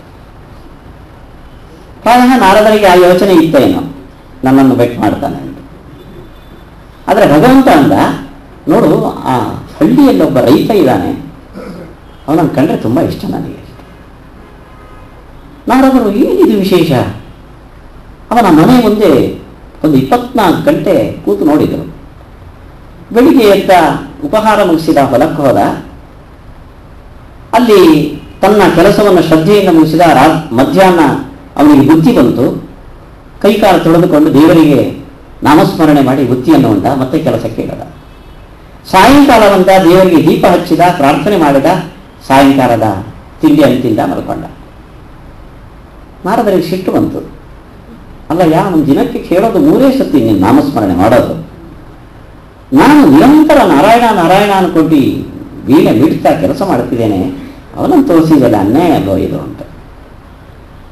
ಅದಕ್ಕೆ ದೇವರು ನಾರದರಿಗೆ ಒಂದು ಕೆಲಸ ಕೊಟ್ಟರಂತೆ. ನೋಡು, ಒಂದು ಪಾತ್ರೆಯಲ್ಲಿ ತುಂಬ ಎಳ್ಳೆಣ್ಣೆ ತುಂಬಿಸಿ ನಿನ್ನ ಕೈಲಿ ಕೊಡ್ತಾನೆ, ಈ ಪಾತ್ರೆ ಹಿಡ್ಕೊಂಡು ಭೂಮಿಗೆ ಒಂದು ಪ್ರದಕ್ಷಿಣೆ ಬರಬೇಕು ಅಂತ ಆದರೆ ಒಂದು ತೊಟುಕು ಎಣ್ಣೆ ಚೆಲ್ಲಬಾರದು. ನಾರದರು ಎಣ್ಣೆ ತುಂಬಿದ ಪಾತ್ರೆಯನ್ನು ಕೈಯಲ್ಲಿ ಇಟ್ಕೊಂಡು ಜಾಗ್ರತೆಯಾಗಿ ಭೂಮಿಗೆ ಪ್ರದಕ್ಷಿಣೆಯನ್ನು ದೇವರ ಮುಂದೆ ಇಟ್ಟರು.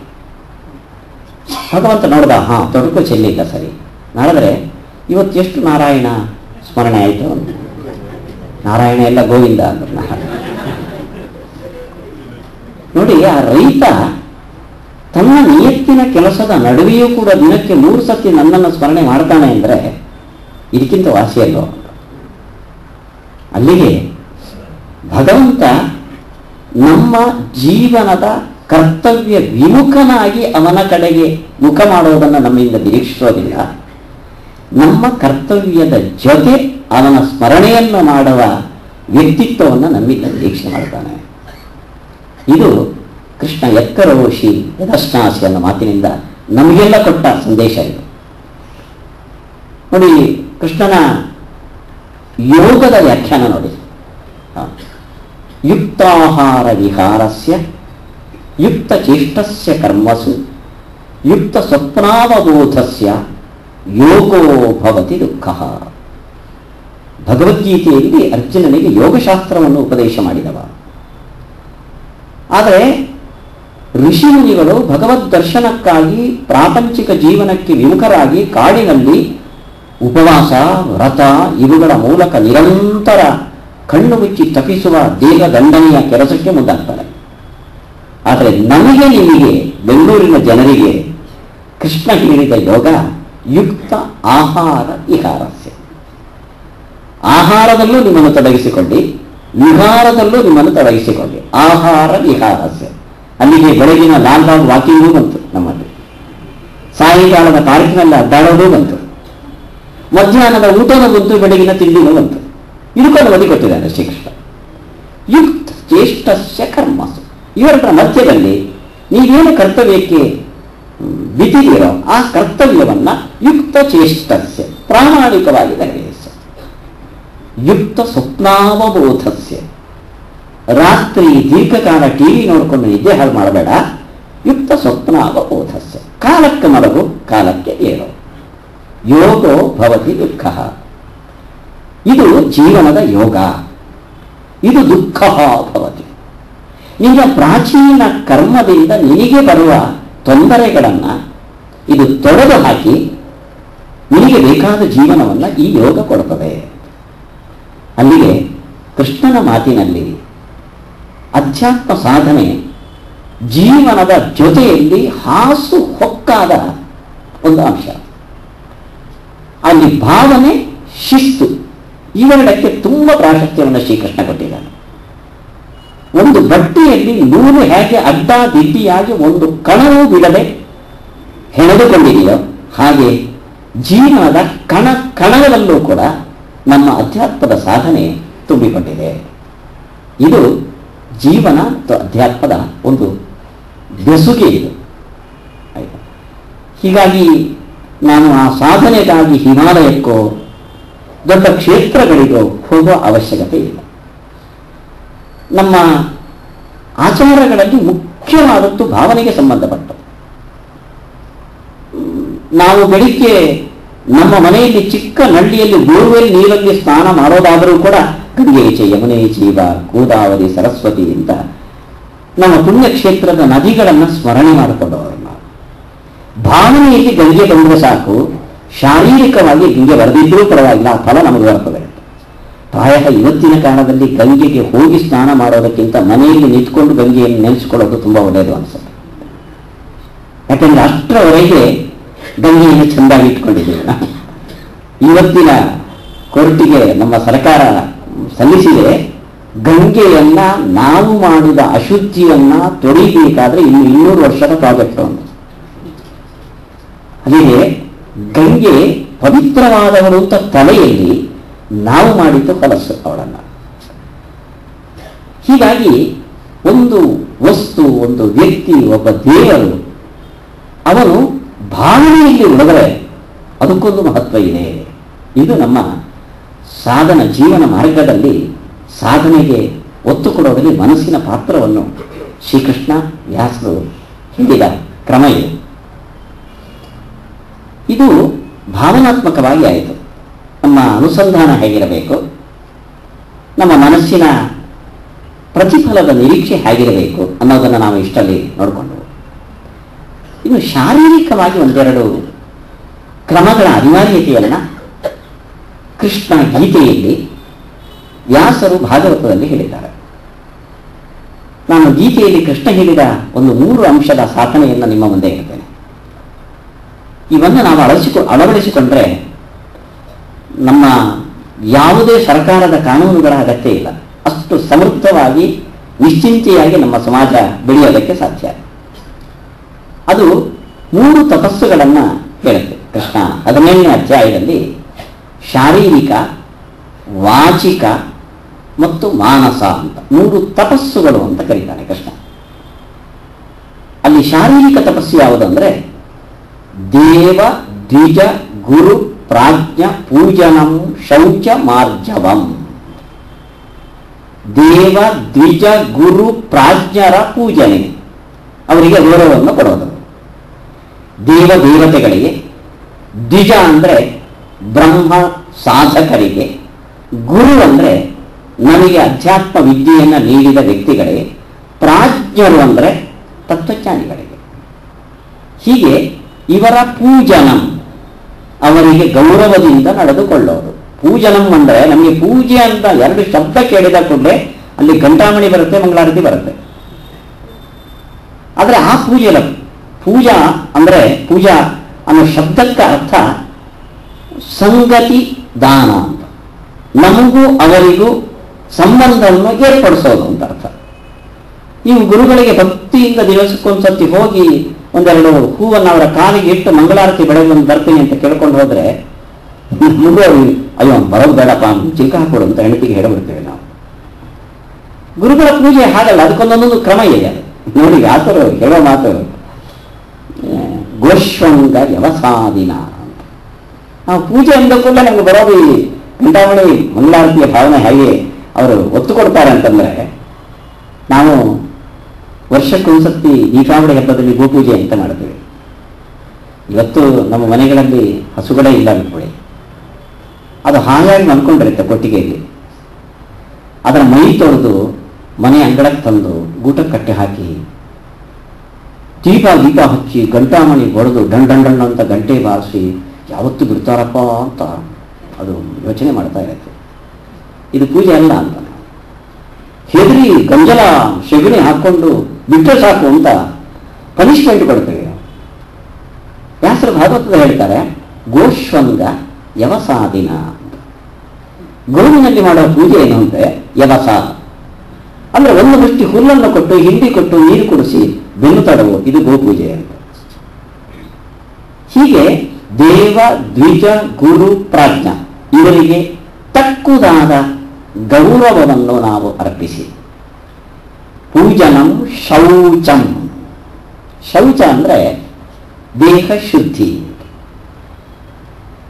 ದೇಹ ಶುದ್ಧಿ ಅಂದ್ರೆ ಹೊರಗಡೆ, ಒಳಗಡೆ ಶುದ್ಧಿ. ಹೊರಗಡೆ ಶುದ್ಧಿ ನಾವು ಮಾಡ್ಕೋತೀವಿ ಸಾಧಾರಣ. ಚಳಿಯಲ್ಲಿ ಸ್ನಾನ ಮಾಡ್ಲಿಕ್ಕೆ ಇದ್ರೂ ಪುಸ್ತಕ ಒಂದು ಸೆಂಟ್ ಹೊಡ್ಕೊತೇವೆ, ಆ ವಾಸನೆ ಹೋಗಲಿ ಅಂತ. ಆಂತರ ಬಾಹ್ಯ ಶುದ್ಧಿಗಳು. ನೀರಿನಿಂದ ಎಷ್ಟು ಬ್ರ್ಯಾಂಡಿನ ಸೋಪುಗಳಿಂದ ತೊಳೆದರೂ ಧಾರ್ಮಿಕ ಶುದ್ಧಿ ಆಗೋದಿಲ್ಲ. ಮತ್ತೆ ನಮ್ಮ ಸ್ನಾನ ಮಾಡುವಾಗ ಒಂದು ಭಾವನೆಯನ್ನು ಹೇಳ್ತಾರೆ ನೋಡ್ರಿ. ಭಗವಂತ ವಾಮನಾವತಾರದಿಂದ ತ್ರಿವಿಕ್ರಮನಾಗಿ ಬೆಳೆದು ನಿಂತಾಗ ಅವನ ಕಾಲಿನ ಅಂಗುಷ್ಟ ಬ್ರಹ್ಮಾಂಡಕ್ಕೆ ತಾಗಿ ಹೊರಗೆ ಗಂಗೆ ಬಂತು. ನಾವು ಸ್ನಾನ ಮಾಡುವಾಗ ಕಾವೇರಿ ನಳ್ಳಿಯನ್ನು ಬಿಟ್ಟು ಅಡಿಗೆ ಕೂತ್ಕೊಂಡ್ರೆ ಭಗವಂತನ ಪಾದದಿಂದ ಬಂದ ಗಂಗೆ ಧಾರೆಯಾಗಿ ನನ್ನ ಮೈಮೇಲೆ ಹರಿತಾ ಇದೆ ಅಂತ ಅನುಸಂಧಾನ ಮಾಡಿಕೊಂಡ್ರೆ ಅದು ದೇಹಕ್ಕೆ ಶೌಚ ಇದು ನಾವು ನಡೆಸುವ ಕ್ರಿಯೆಯಲ್ಲಿ ಈ ಅನುಸಂಧಾನವನ್ನು ತುಂಬಿಕೊಂಡ್ರೆ ಇದು ದೇಹಕ್ಕೆ ಆಧ್ಯಾತ್ಮಿಕವಾದ ಶೌಚ. ಇನ್ನು ಒಳಗಡೆ ಶೌಚ? ಒಳಗಡೆ ಶೌಚ ನಾವು ತಿನ್ನುವ ಆಹಾರದ ಮೇಲೆ ನಾವು ಸಾತ್ವಿಕವಾದ ಆಹಾರವನ್ನು ಸೇವಿಸಿದ್ರೆ ಒಳಗಡೆ ಶೌಚ ಉಳ್ಕೊಳ್ಳೋದು ನಮ್ಮ ಮನಸ್ಸನ್ನು ಕೆರಳುವ ಆಹಾರಗಳ ಒಳಗೆ ಹೋದರೆ, ಅದು ಮನಸ್ಸನ್ನು ಹಾಳು ಮಾಡುತ್ತೆ ಹೀಗೆ ಶೌಚ ಹಾಳಾಗುತ್ತೆ. ಈಗ ಒಂದು ಅಂಶವನ್ನು ನಾನು ಹೇಳಬೇಕು. ಕೆಟ್ಟ ಆಹಾರವನ್ನು ನಾವು ತಿಂದರೆ ಅದು ಕೆಟ್ಟದು ಅಂತ ಗೊತ್ತಾದರೆ ಅವನ ಮಾಡಬೇಕಂತ. ಯಾಕೆಂದ್ರೆ ನಾವು ತಿಂದ ಆಹಾರ ನಮ್ಮ ದೇಹದಲ್ಲಿ ಶಾಶ್ವತವಾಗಿ ರಕ್ತದ ರೂಪದಲ್ಲಿ ಹರಿದು ನಮ್ಮ ಮನಸ್ಸಿನ ಮೇಲೆ ಪರಿಣಾಮ ಬೀಳುತ್ತದೆ ದಕ್ಷ ಯಜ್ಞದ ಪ್ರಸಂಗ ನಮಗೆ ಗೊತ್ತು. ಸತೀದೇವಿ ಅಪ್ಪ ಮಾಡಿದ ಅವಮಾನಕ್ಕಾಗಿ ದೇಹತ್ಯಾಗ ಮಾಡಿದ್ಲು ಅಂತ. ಇಷ್ಟೇ ಅದರ ಸಾರಾಂಶ ನಾವು ತಿಳ್ಕೊಂಡಿರೋದು. ಅಪ್ಪ ಮಾಡಿದ ಅವಮಾನಕ್ಕೆ ಅವನು ದೈವತ್ಯಾಗ ಮಾಡಿದರೆ ಏನು ಪರಿಹಾರ ಕೊಟ್ಟಂತಾಯಿತು? ಗಂಡನಿಗೆ ಅವಮಾನ ಆಯಿತು ಅಂತ ಹೆಂಡತಿ ನೇಣ ಹಾಕೊಂಡ್ರೆ ಇದು ನಮ್ಮತನ ಮೂರ್ಖರ ಭಾವನಾತ್ಮಕವಾಗಿ ತುಂಬಾ ಮೂರ್ಖತನದ ದಾರಿಯನ್ನು ತುಳಿದಂತಾಯಿತು.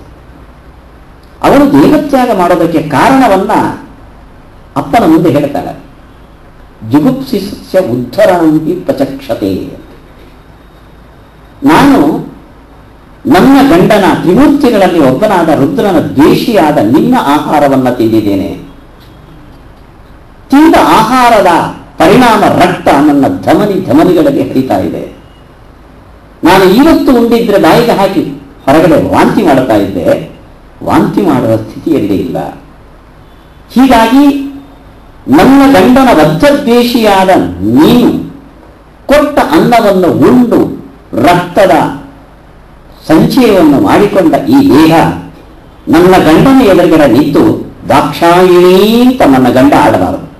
ನಿನ್ನ ಹೆಸರು ಒಂದು ದಕ್ಷ ಅಂತ. ಅದಕ್ಕೋಸ್ಕರ ಅದರ ಮುಂಚೆ ನಾನು ಈ ಅಪವಿತ್ರವಾದ ದೇಹವನ್ನು ಬೆಂಕಿಯಲ್ಲಿ ಕೆಡವುತ್ತೇನೆ. ಅಲ್ಲಿಗೆ ಆಹಾರದ ಬಗ್ಗೆ ಆಕೆ ಎಚ್ಚೆತ್ತು ತನ್ನ ದೇಹವನ್ನು ತ್ಯಾಗ ಮಾಡಿದ್ಲು ಹೊರತು ಒಂದು ಪ್ರತೀಕಾರ ಭಾವನೆಯಿಂದ ಸತೀದೇವಿ ದೇವತ್ಯಾಗ ಮಾಡಿದ್ದಲ್ಲ ಇವತ್ತು ರಕ್ತದ ಸೋಂಕಿನ ಬಗ್ಗೆ ನಮಗೆ ಇವತ್ತು ಎಚ್ಚರ ಬಂದಿದೆ ನಮಗೆ. ನಮಗೆ ಕ್ಷೌರದ ಅಂಗಡಿಯಲ್ಲಿ ಮುಖಕ್ಷೌರ ಮಾಡಿಕೊಳ್ಳೋಕ್ಕೂ ಹೆದರಿಕೆ ಆಗುತ್ತೆ ಏ ಬೇಡ ಚೇಂಜ್ ಅಂತ ಒಂದು ಕಣ ರಕ್ತ ಮತ್ತೊಬ್ಬರದು ನಮ್ಮ ಮೈಗೆ ಸೋಂಕಿದ್ರೆ, ಇಲ್ಲಿ ಭಯಂಕರವಾದ ರೋಗಗಳ ಸೋಂಕು ನಮಗೆ ಬರುತ್ತೋ ಅಂತ ಹೆದರ್ತೀವಿ ನಾವು. ಇದು ಪ್ರಾಚೀನರು ಆಹಾರದ ದೃಷ್ಟಿಯಿಂದ ನೀವು ದೇಹದ ಶೌಚವನ್ನು ಉಳಿಸಿಕೊಳ್ಳಿ ಅದು ಅದನ್ನು ತಿನ್ನಿ, ಇದನ್ನು ತಿನ್ರಿ, ಇದನ್ನು ತಿನ್ಬಿಟ್ರಿ ಅದನ್ನು ತಿನ್ನಿ, ನಾನು ಯಾವುದನ್ನು ಹೇಳೋಕ್ಕಾಗೋದಿಲ್ಲ ಮನಃಪ್ರಸಾದ ನಿಮಗೆ ಮನಸ್ಸಿಗೆ ಯಾವುದು ಹಿಡಿಸುತ್ತೋ ಆ ಆಹಾರವನ್ನು ಸೇರಿಸಿ ಇದು ಅಂತರ ಶೌಚ.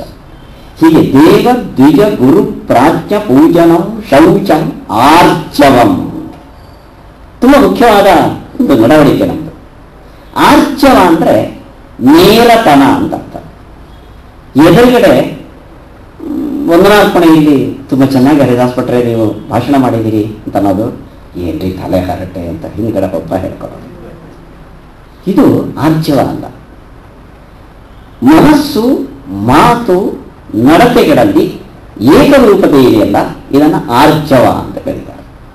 ಇದು ಶಾರೀರಿಕ ತಪಸ್ಸಿನಲ್ಲಿ ಇವು ಮೂರು ಅಂಶಗಳು ಮುಖ್ಯ ಅಂತ ಕೃಷ್ಣ ಹೇಳಿದ. ಇನ್ನು ವಾಚಿಕ ತಪಸ್ಸು, ನಾಲಿಗೆಯಿಂದ ಮಾಡುವ ತಪಸ್ಸು ಏನು? ಅನುದ್ವೇಗಕರಂ ವಾಕ್ಯಂ, ಸತ್ಯಂ ಪ್ರಿಯಹಿತಂಚ ಯತ್, ಸ್ವಾಧ್ಯಾಯಾಭ್ಯಸನಂ ಚೈವ ವಾಂಗ್ಮಯಂ ತಪ ಉಚ್ಯತೆ ಅನುದ್ವೇಗಕರಂ ವಾಕ್ಯಂ. ಮತ್ತೊಬ್ಬರ ಮನಸ್ಸನ್ನ ಅರಳಿಸುವ ಮಾತಾಡಿ ಕೆರಳಿಸುವ ಮಾತಾಡ ಆಡಬೇಡಿ. ಉಪನಿಷತ್ತು ಕೊಟ್ಟಿರುವ ಎಚ್ಚರ ನ ಪರುಷಂ ನ ಪರುಷಂ ಎರಡು ಮಾತಿನ ಸೈನ್ಯವನ್ನಾದರೂ ಅದು ಕಾಪಾಡೋದಕ್ಕೆ ಹೇಳಿದ ಉಪಾಯಗಳು. ನ ವದೇ ಅಂದ್ರೆ, ನೀ ಏನು ಮತ್ತೊಬ್ಬರಿಗೆ ಹೇಳ್ತಿರೋ ನೀವು ಸಿಟ್ಟು ಬರಲಿ ಸೌಮ್ಯವಾಗಿರಲಿ ಹೇಳುವಾಗ ಉಚ್ಚ ಧ್ವನಿಯಲ್ಲಿ ಏ, ಮಾಡ ಅನ್ಬೇಡಿ ಮಾಡಪ್ಪ. ಅಂದ್ರೆ ನ ಪರುಷಂ ವದೇ ನ ಪರುಷಂ ವದೇ ತಲೆ ಸರಿಯುವೇನೋ ಮಾತಾಡ್ಬೇಡ್ರಿ. ಅಲ್ಲ ಸ್ವಲ್ಪ ವಿವೇಕದಿಂದ ಕೆಲಸ ಮಾಡಪ್ಪ ಅಂದ್ರೆ ನಿಮ್ಮ ಮಾತು ಹಾರ್ಷ ಆಗಿರಬಾರದು ಪರುಷವಾಗಿರಬಾರದು. ನಿಮ್ಮ ಮಾತು ಏರಿದ ಧ್ವನಿಯಲ್ಲಿ ಇರಬೇಡ್ರಿ. ಅನುದ್ವೇಗ ಕಾರಣ ವಾಕ್ಯ ಇಂಥ ಮಾತನ್ನಾಡಿದ್ರೆ ಮಾತನ್ನು ಆಡಿದ್ರೆ ಮತ್ತೊಬ್ಬರಿಗೆ ಉದ್ವೇಗ ಆಗೋದಿಲ್ಲ. ಹೀಗೆ ಮತ್ತೊಬ್ಬರಿಗೆ ಹೊಡೆದು, ಬಡದು ಘಾಸಿ ಮಾಡಿನೇ ಹಿಂಸೆ ಮಾಡಬೇಕಾಗಿಲ್ಲ ನೀವು. ಮಾತಿನ ಮೂಲಕವೂ ಹಿಂಸೆ ನಡೆಯದಂತೆ ನೋಡಿಕೊಳ್ಳಿ ಸತ್ಯಂ ಪ್ರಿಯಹಿತಂಚ ಎತ್ ಸತ್ಯವಾದ ಮಾತನ್ನಾಡ್ರಿ, ಆದರೆ ಸತ್ಯ ಅನ್ಕೊಂಡು ನಿಷ್ಠುರವಾದ ಸತ್ಯವನ್ನು ಆಡಬೇಡಿ. ಪ್ರಿಯ ಹಿತಂ ಅವನಿಗೆ ಕೇಳಿದರೆ ಚೆನ್ನಾಗಿರಬೇಕು ಅನ್ಕೊಂಡು ಸುಳ್ಳನ್ನಾಡಕ್ಕೆ ಹೋಗಬೇಡಿ ಹಿತಂ.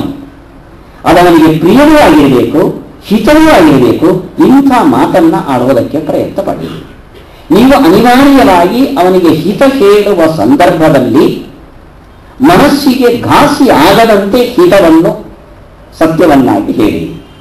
ಎಂಥ ಸಂದೇಶ ಇರುವಂತ ನಮ್ಮಲ್ಲಿ ಒಂದು ಕ್ರಮ ಇದೆ. ನಮ್ಮ ಇವತ್ತು ಆ ಪರಿಪಾಠಗಳು ಕಡಿಮೆ ಆಗಿದೆ. ಆಶೌಚ ಬಂದಾಗ ಅವನು ದೇವಸ್ಥಾನದ ಪೂಜಾರಿ ಪಾಪ. ಅರ್ಚಕರಿಗೆ ತಟ್ಟೆ ಕಾಸು ತುಂಬ ಬರುತ್ತೆ ಅಂತ. ನೋಡು, ಭಕ್ತರಿಗೆಲ್ಲ ಏನು ಕಾಸು ಮಾಡ್ತಾನೆ ಅಂತ ನೋಡೋದಕ್ಕೆ. ಹೀಗಾಗಿ ಅವನಿಗೆ ಜಾತಾಶೌಚವೋ, ಮೃತಾಶೌಚವೋ ಬಂತು ಅಂದ್ರೆ ಗೊತ್ತಾದರೆ ಆ ದಿವಸ ಕೂಡಲೇ ಕೂಟ್ರು ಹಿಡ್ಕೊಂಡು ಬಟ್ರೆ ನಿಮ್ಗೆ ಇವತ್ತು ಮೃತಾಶೌಚ ಇದೆ ಅಂತ ಅಂದ್ಬಿಡ. ಅವ್ರು ದೇವ್ರ ಒಳಗಡೆ ಇದ್ದಾರೆ. ಹೊರಗೆ ಬರಬೇಕು, ಅಲ್ಲಿ ಉಳಿಬೇಕು ಅನ್ನೋ ಒಂದು ದೊಡ್ಡ ಸಮಸ್ಯೆ ಇದೆ. ನೀವು ಹೇಳಿದ್ದು ಸತ್ಯ ಹೌದು. ಆದರೆ ಆ ಸತ್ಯವನ್ನು ಹೇಳುವಾಗ ನಿಮ್ಮ ಒಳಗಡೆ ಭಾವನೆ ಇದೆಯಲ್ಲ ಅವನು ಏನೋ ಒಂದು ಇರಿಟೇಷನ್ ಉಂಟು ಮಾಡಬೇಕು ಅಂತ, ಇಂಥದ್ದು ಮಾಡಬೇಕು. ಸತ್ಯಂ ಪ್ರಿಯ ಹಿತ ಮಟ್ಟ ಒಂದು ವಿಷಯ ಒಳಗಡೆ ಬನ್ನಿ. ಕರೆದು. ನೋಡಿ ಹೀಗೀಗಿದೆ ಇದು. ಅವನಿಗೆ ಹಿತವೂ ಆಗಬೇಕು, ಪ್ರಿಯವೂ ಆಗುವಂತೆ ನಿಮ್ಮ ಮಾತು ಇರಲಿ ಇನ್ನೊಂದು ಅಂಶ ತುಂಬ ಮುಖ್ಯ. ಸ್ವಾಧ್ಯಾಯ ಅಭ್ಯಸನ ಚೆಯ್ಯುವ ಪ್ರತಿದಿನಕ್ಕೆ ನೀವು ಧ್ಯಾನಕ್ಕೋ, ಪೂಜೆಗೋ ಒಂದು ಅವಧಿ ಅಂತ ಇಟ್ಕೊಳ್ತೀವಿ ಅದರ ಒಂದು ಅಂಶವನ್ನು ಸ್ವಾಧ್ಯಾಯಾಭ್ಯಾಸಕ್ಕೆ ಇಟ್ಕೊಳ್ಳಿ. ಅಂದರೆ ಈ ಶಬ್ದ ತೀರಾ ಶಾಸ್ತ್ರೀಯವಾದ ಶಬ್ದ. ನಮ್ಮ ಭಾರತೀಯ ದಾರ್ಶನಿಕ ಗ್ರಂಥಗಳ ಅಧ್ಯಯನಕ್ಕೆ ಮೀಸಲಾಗಿಡಿ. ನಿಮ್ಮ ನಾಲಿಗೆ ಪರಿಶುದ್ಧ ಆಗುತ್ತೆ. ದಿನಕ್ಕೆ ಒಂದು ಅಧ್ಯಾಯ ಗೀತೆನೋ, ಒಂದು ಅಧ್ಯಾಯ ಮಹಾಭಾರತನೋ, ಒಂದು ಸ್ವಲ್ಪ ಶ್ಲೋಕಗಳು ರಾಮಾಯಣದ್ದು ಇದನ್ನು ಓದೋದಕ್ಕೆ ಒಂದು ಸಮಯವನ್ನು ಮೀಸಲಾಗಿಡಿ. ಅದು ಸಂಸ್ಕೃತ, ಅದು ದೇವ ಭಾಷೆ, ನಮ್ಮ ಭಾಷೆ ಅಲ್ಲ, ಮನುಷ್ಯರ ಭಾಷೆ ಅಲ್ಲ ಅದು. ಇವತ್ತು ಸಿಗೋದೆಲ್ಲ ಟ್ರಾನ್ಸ್ಲೇಟ್ ಅದಕ್ಕಾದ್ರೆ ಅದು. ಒಂದು ಅವಧಿಯನ್ನ ನೀವು ಅಧ್ಯಾತ್ಮ ಶಾಸ್ತ್ರದ ಅಧ್ಯಯನಕ್ಕೆ ಮೀಸಲಾಗಿದೆ. ಸ್ವಾಧ್ಯಾಯಾಭ್ಯಸನಂ ಚೈವ ವಾಂಗ್ಮಯಂ ತಪವಚ್ಚ ಅಲ್ಲಿಗೆ ಶಾರೀರಿಕ ತಪಸ್ಸಾಯಿತು, ಮೂರು ಅಂಶ. ಮೂರು ಅಂಶದ ವಾಂಗ್ಮಯ ತಪಸ್ಸಾಯಿತು. ಇನ್ನು ಮಾನಸಿಕ ತಪಸ್ಸು ಯಾವುದು? ಮನಃಪ್ರಸಾದ ಸೌಮ್ಯತ್ವಂ ಇದು ಮಾನಸಿಕ ತಪಸ್ಸು ಮನಃಪ್ರಸಾದ ಸೌಮ್ಯತ್ವ ಅಂತ. ಮನಃಪ್ರಸಾದ ಅಂದರೆ ನಮಗೆ ಕನ್ನಡದಲ್ಲಿ ಸಿಗುವ ಅರ್ಥ ಮನಸ್ಸು ಪ್ರಸನ್ನ ಆಗಿರಬೇಕು ಅಂತ.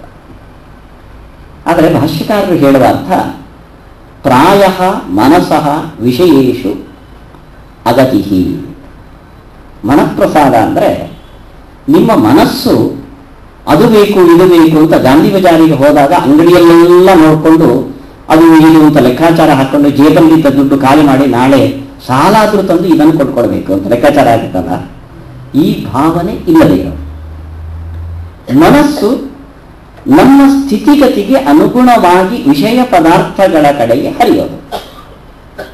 ನಮ್ಮ ಬೆಂಗಳೂರಿನಲ್ಲಿ ನಾಗರಿಕ ಜೀವನದಲ್ಲಿ ಇವತ್ತು ಹೆಚ್ಚಿನ ಪ್ರಮಾಣದಲ್ಲಿ ನಮ್ಮನ್ನು ನಾವು ಘಾಸಿಗೊಳಿಸೋದಕ್ಕೆ ಒಂದು ಕಾರಣ ಉಳಿದವರನ್ನು ನೋಡಿಕೊಂಡು ಅದಕ್ಕಾಗಿ ನಮ್ಮ ಚಾಪಿ ಇಳಿಸಕ್ಕೆ ಹೋಗಿ ಸಾಲ ಸೋಲ ಮಾಡಿ ಒಂದು ದಿವಸ ತೀರ್ಸಕ್ಕಾಗದೆ ಹೆಂಡತಿ ಮಕ್ಕಳ ಸಮೇತ ಕಾವೇರಿ ನದಿಗೆ ಮುಳುಗಿದ್ರು.